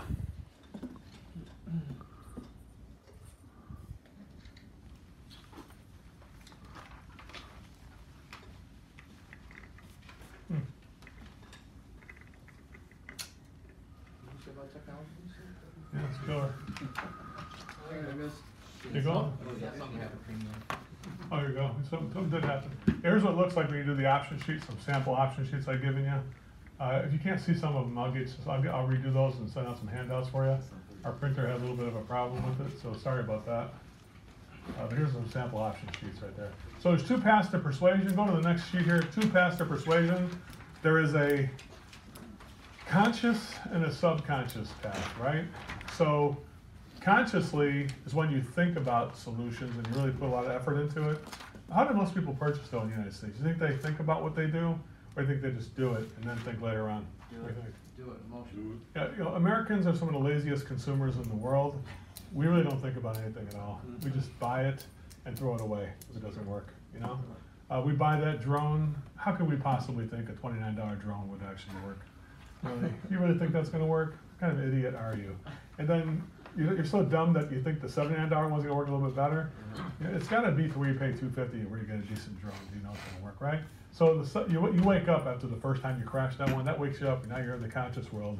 Okay, I gotta get a good one here, and that's it. So everybody's in a subconscious trance, and I, here's what I to call perfect persuasion. What is perfect persuasion? Perfect persuasion is, write this down, this is a good saying to write down, getting people to do what you want them to do, but making them think it was their idea instead of yours. So how can I get people to do what I want them to do, but make them think it was their idea, not mine? That's what I'm trying to do every call. Uh, subconscious and conscious, perfect persuasion. So uh, there's a hierarchy of persuasion. Are we in the long-term business or are we in the short-term business, would you say? We're in the long-term persuasion business, correct? So let's go over ways that you get short-term clients where you only get a client once and you never see him again. And that's the bottom way of doing it. Let's start with that. So the hierarchy of persuasion, at the very bottom of that triangle is control by using fear, force, and threats to get people to motivate to buy something. Right? So that's the way you scare people into it. Number two is coercion. Pressure, manipulation, and intimidation. Uh, to try to make to try to mix up the facts so people don't understand with clarity. and when they don't understand with clarity, we make the most certain thing to make a purchase in a way. Like we tell people that the sale is over on Monday, and then the sale really isn't over on Monday, right? That's not persuasion. That's called manipulation, coercion. The third form is called compliance. Incentive, benefits, and rewards. Now, a lot of people think this is the best form of sales. How many of you haven't said, uh, well, if you purchase from me today, I'll throw in blank, I'll throw in a new humidifier, air cleaner, or something like that. You know, you never have to go any further than to see people do a thing where it's called, you know, you get a free furnace if you buy an air conditioning unit. You ever see the free furnace advertisement deal? Which is the biggest scam uh, thing in the history of people doing it. Which is you get a free furnace if you buy an air conditioning. Oh, we, the only thing we forgot to tell you, we omitted. It's like it's like omission, a lie by lie of omission. We doubled the price on furnaces to include the free AC. That's a fact we just left out instead. You know what I'm saying there? Or you get a rebate from the manufacturer. Yay, rebate from the manufacturer. Oh yeah, the, the manufacturer is providing a fifteen hundred dollar rebate. What? Yeah, all they're asking us to do is add fifteen hundred dollars into the price to give it back to you. Isn't that amazing? How about the rebate? It's not really a rebate. It's fifteen like- hundred dollars. It's a, it's a voucher. To, as long as you purchase something in the future, you get fifteen Yeah, dollars. got it. It's not that. Forget it. You don't get the money. It's just a voucher. Uh, number two is cooperation. This is up. Now you're getting to real sales. Convincing, encouraging, and selling. Uh, letting people sell themselves in a way, right? Selling means to let people uh, on their own voluntarily make the purchase. But here's the highest form of persuasion. It's called respect, honor, and trust. So if you have respect, honor, and trust of somebody, then it doesn't make a difference how many BTUs or SEER or tonnage it is. If I believe in you, the service provider, as a person, I believe that you're going to take care of me, no matter what. Does that make sense, guys? If you are perceived as somebody that I don't know what he's really offering, but I do know that he's pretty smart at this, and I believe that he's honest and he's gonna take care of me if I get this thing done. Heck, he even gave me the cell phone number if I need to get a hold of him. He's not gonna run from this. It's gonna, it must be good. You know I'm saying her? So commitment is the highest form of persuasion that you can get. It's nothing else, nothing else but commitment. Now, what is, how do you know you've had respect, honor, and trust? Have you ever had it to where a client said to you, you know, I'm not good with the mechanical stuff, Caesar. Tell me which one would you do if it was your house? You ever have that? Yeah. Ever had that, guys? Oh, yeah. So you reach the pinnacle of persuasion. Somebody is saying, well, Ryan, you're the plumber. Could you tell me which one I should do if it was you, your house? Now, the way to lose the respect, honor, and tru- trust, ironically, is to do what the customer is asking you to do, which is to pick one for them. Which one would you suggest I do? And that's the only way you could lose your respect, honor, and trust is by telling them. Because what are you going to choose? The premium one? Go ahead and tell me. Joe, I suggest you the premium one. Tell me that. Yeah, I would do the premium one, Joe. Well, of course you do. You sell the fucking water heaters. what else is he gonna say, right? Go ahead and tell me, Joe. I'd go with the economy one. Tell me that, Ryan. Uh, I'd go with the economy one, Joe. Oh, Ryan thinks I'm cheap. He doesn't believe in my family, right? And uh, tell me to get the mid-range ones, Ralph. So I'll go with the mid-range one. Yeah, he thinks I'm just average. Like I'm not special. He doesn't think I'm worth the signature series. You see what I'm saying? So, guys, have you ever had it before? Imagine you and your ever, ever here married? Every significant others are married? Here, raise your hand if you kind of half-assed. so, so imagine if you're on the fence like Ralph is. Uh, I'm not on the fence, I'm newlywed. Oh, he's newlywed. Yay! Give Ralph a nice round of applause. He jumped, he jumped back in. He took the, took, took the bullet again. Nice job. Ralph, you're tagging Ralph, what were you doing? We- You already you were you were living the life.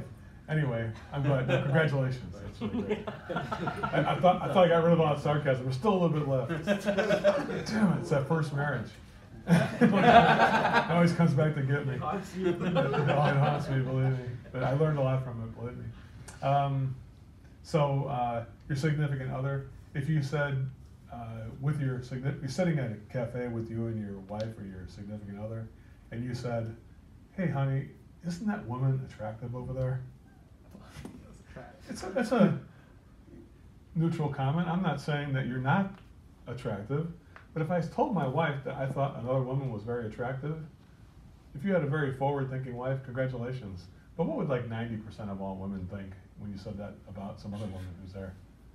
Then you have to kick me in the shoes on. They say, what, I'm not, what, I'm chopped liver? What do you think? You're s- uh, Hello, I'm here, you know, uh, you're talking to me. I'm- So the thing is this, if I suggest something, the customer's gonna say, why did he say that?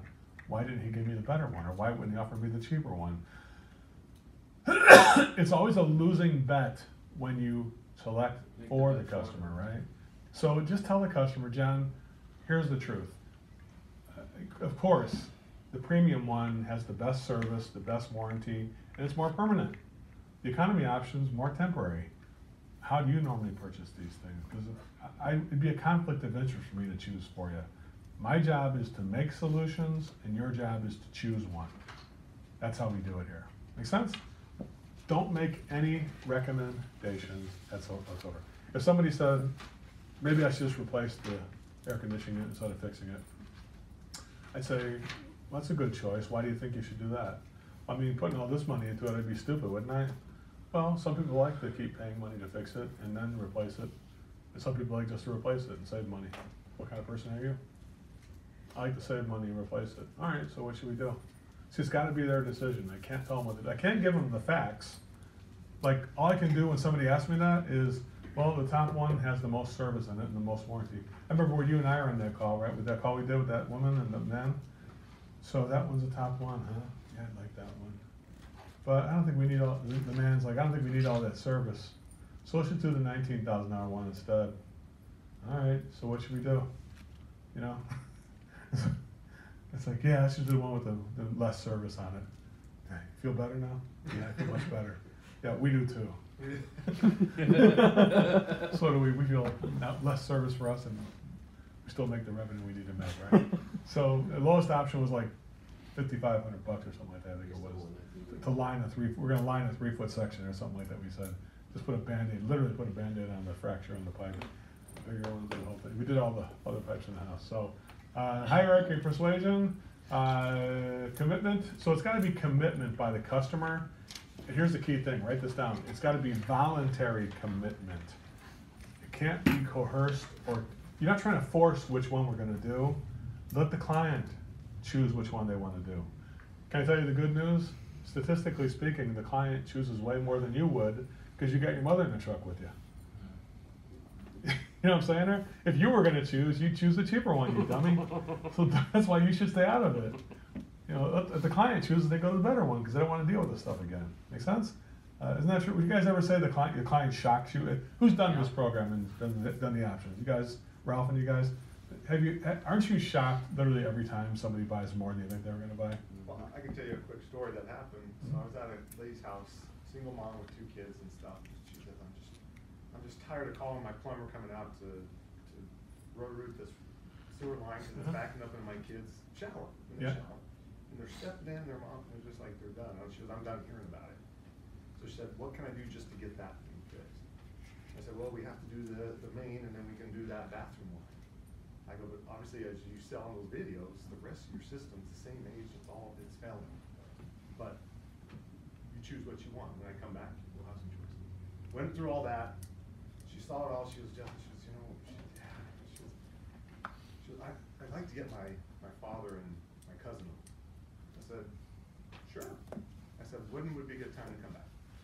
And we picked a date, came back, she was looking at the, the lower portion of it, the, Uh-huh. the lower mid-range. Yep. Her dad goes, honey, are you stupid? Go with the premium and let's just get this thing done. She goes, okay. And I'm Daddy, like, daddy said. Thank God we got daddy involved in that one, huh? got the kitchen, the laundry, and the bathroom. Sometimes it's the opposite, but that's okay. Let's turn the page on the next page, please, and let's go to emotion versus logic. This is a biggie right here, gentlemen, ladies and gentlemen, this one here. Here we go, emotion versus logic, or law, law of balance, right? Uh, law of balance, emotion versus logic. Uh, which wins out? Do people purchase more emotionally or logic? Well, the next time somebody buys something logical will be the first time in history. Uh, even when somebody says they're logical, that is the emotional trigger. They're trying to show you how smart they are. Like the engineer who says this is all lot, it's just a numbers game. You know, this is all about the numbers because I'm an engineer. I don't play that kind of bullshit. I know what you're trying to do to me, but that ain't gonna work. It's working right now as he says that. Because what's he trying to do? He's trying to show you how smart he is. That's the emotion. You have to feed that emotion. Make him feel like he's fucking smart. He's trying to, he's literally telling you how smart I am. Listen, you're not gonna play that shit with me. I'm a fucking engineer. I went to Cal Poly and MIT too. I'm like, I can't even put those words together. I don't even know what they mean. he's like, he's like, I know, I'm smarter than you. You're just a plumber. Indeed, you are. Because I don't have a house that weight that's five million dollars, and you do. You must be automatically smarter than I am.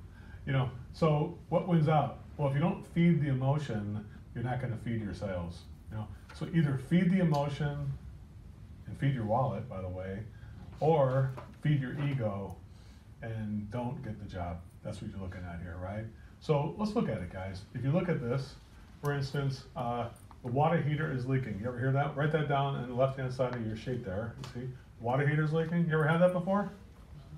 Well, what happens then? The family's coming to stay for Thanksgiving and the water heater's leaking. Wow. Like, I would live without hot water and just go to the Comfort Inn. Go to the, go to the health club. It's cheaper than buying a new water heater. Sure. But the family coming in from out of town, how do I explain that to mom?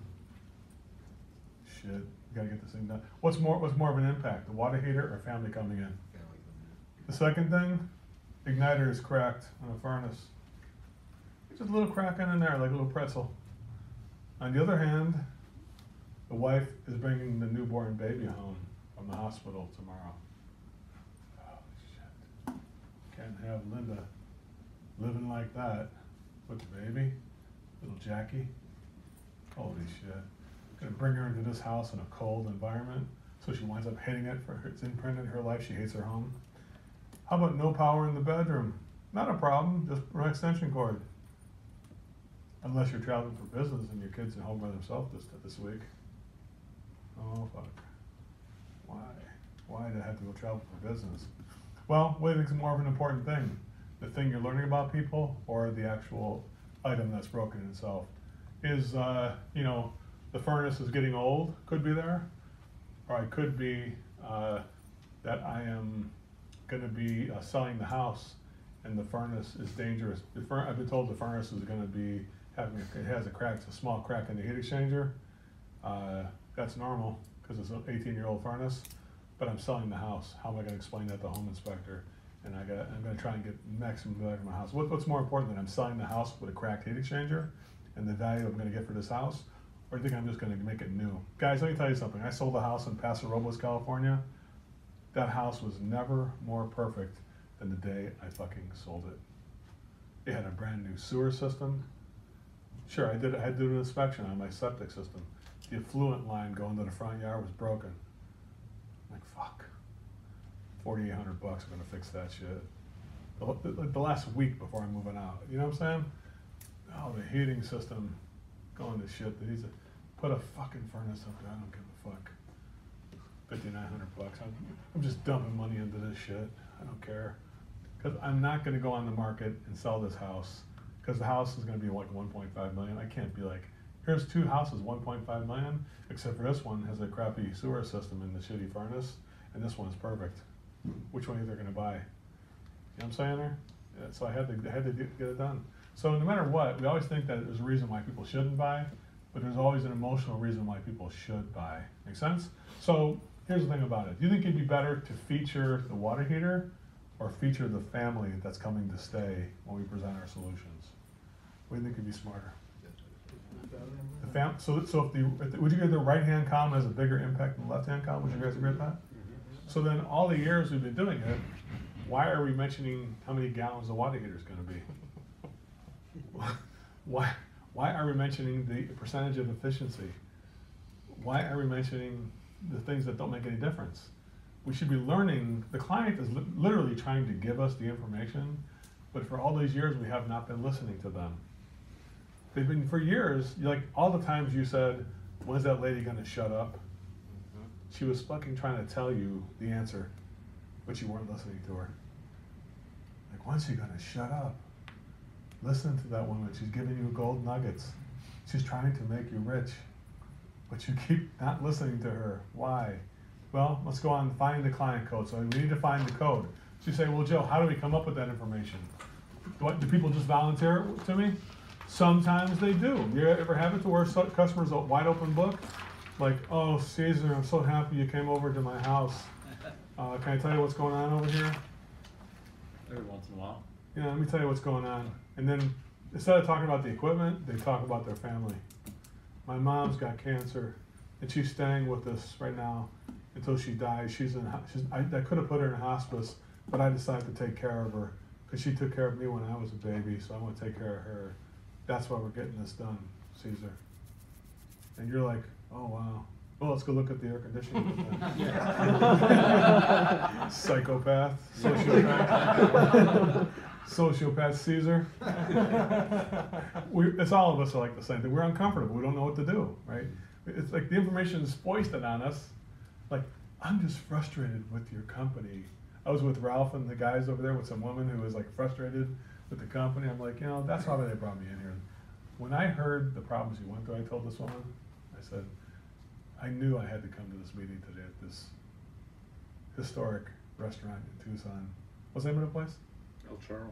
El Charro. I knew I had to come to El Charro and meet with you uh, to tell you what's in my heart and, and how much uh, your account would mean to us and how wrong we were for the, what the actions we took.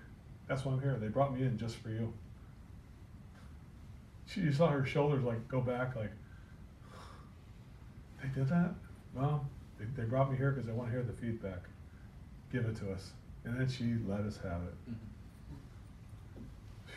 You know what? I want to say thank you for that information. And here's how we're going to change things. I already got the idea. You, because here, you know what happened?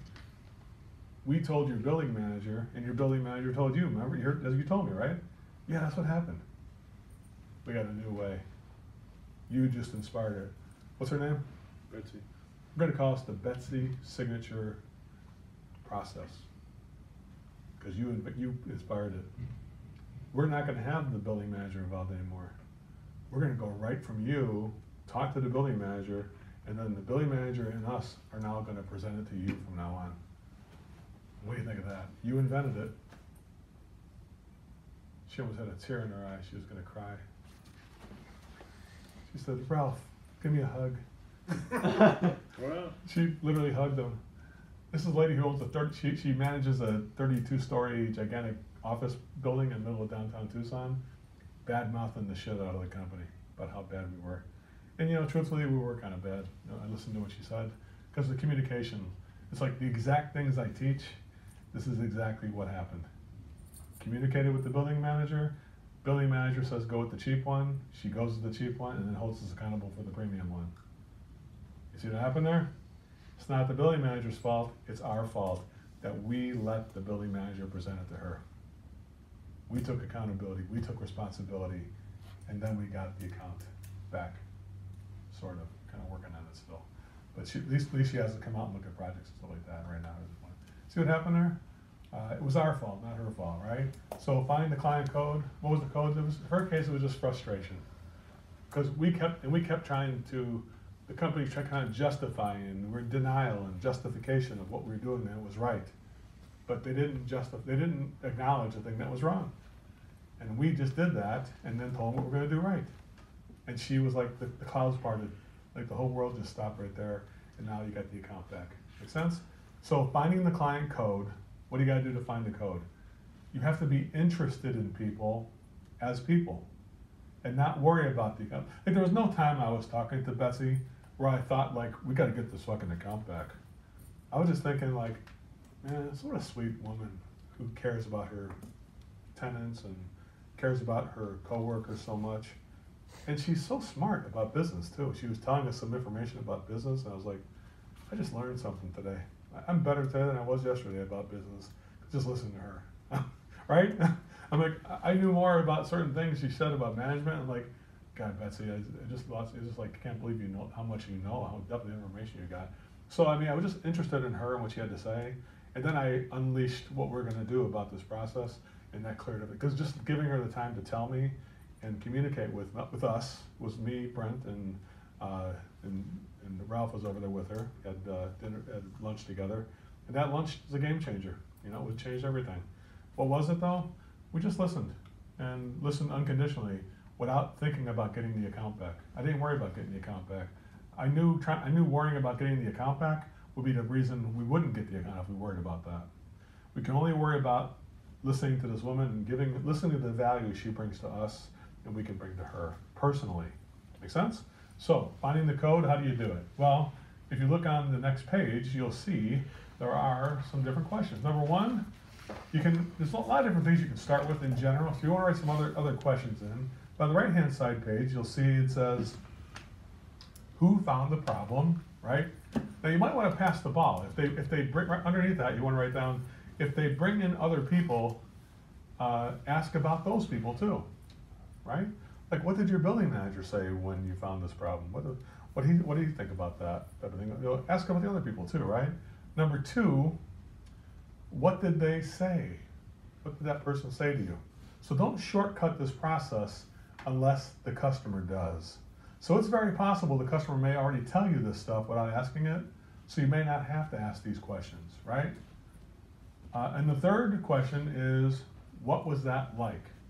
Uh, and that question, the very third question, what I don't want you to do is I don't want you to say, how does it feel? How did that feel? Because you're not Dr. Phil, and you never will be. Because how does that make you feel? It just sounds too therapist, like you're too much of a therapist right now. Like it's phony, something you would probably never say to somebody. Men, I can tell you, men in general don't like to talk about feelings, how it makes them feel. How does that make you feel? Shut up. Sarcasm's coming back. You know, what was that like? Magic moment possibility. So, at the end of the process, most likely what's going to happen is a moment the customer's going to feel down or bad in a way. So let's go over it. Let's say we had a hot water heater, and you can go ahead and hit it, Ron, with these questions. First question is what? So as we're looking at it, I'm like, yeah, here's the water heater, Ron. We just want to get an estimate on the water heater. Right? Who found the problem, Joe? Oh, that's a long story, Ron. Um, my wife Julie, she found it, you know, found the problem. Next question, uh, Oscar. What did she say? Oh, you don't want to hear about that. I'll tell you that. I'll tell you anyway. she said, uh, she said, sure, you're traveling for business. You're going out to Minnesota. You leave us here in Los Angeles, and you don't even care. You just go, go. You're probably flying away going, loser. Is that the right way? loser. That's the right way. Loser. She said, I don't care, Oscar. What is, uh, what was that like? It's stressful because I do care. I care about my family. You crazy? Who cares more than I do? I coach the team. I take my kid to soccer. I'm home every night. I make dinner every night at this house. You think she would make dinner? She don't make dinner. I make dinner every night. At least I order dinner. You know what I'm saying? DoorDash, Postmates. I do it. Every, I work those fingers every time. You should see it's hard. I get sore thumbs sometimes from ordering Postmates. I even tried to avoid the delivery fee because I don't care about my family. you know what I mean, right? I care. So stop right there. I got somebody in kind of a negative mindset right now, right? But what have we learned? What are some words that you heard the customer say right there? Just give me some code words that you might have, some common words I said over and over again. What did I say? He cares. Write, write down, he cares. Joe cares. Sounds like he's stressed out. Stressed. I said, I'm stressed. I said, I'm stressed because I care. Joe does everything around here. He even orders dinner, makes dinner. I do everything around here. I do everything. Do everything. Do everything. Do everything. He does everything. He cares. He's stressed. These are all words that are going to go into the presentation. Really? What would be more perfect than the customer's own words to present back to him in the presentation? Matter of fact, you know the interesting thing is, you're like, how can I say these words? I got good news for you. Want to hear good news? You're not going to say the words, but guess who is going to say these words again? Customer. Yeah. Nothing is better than when the customer makes their own presentation. So this top one's called the Platinum Plus. Tell me before what you said about your family, Charlie. What, that it care about him? That's why I call it the Charlie Cares About the Family Ignition Renovation. Now this one includes a planned service agreement, because what'd you say that you do every night after work for the, for the family every night? You do this on Postmates? I do. You order dinner, right? Yeah, You do everything you said, right? yeah. And the top option, you do nothing for five years. I do everything for the furnace and AC. Charlie, you know what I want you to do? What's that? It's called the Let Charlie Relax Ignition Renovation. I want you to relax, that's why I did this for you. With that, I've also did uh, complete air quality system. I did that for Wyatt and Amy, your daughter and your son. What'd you say before that you did for your family? The different activities you do? Coaching, Coaching. coaching baseball and soccer, right? Mhm.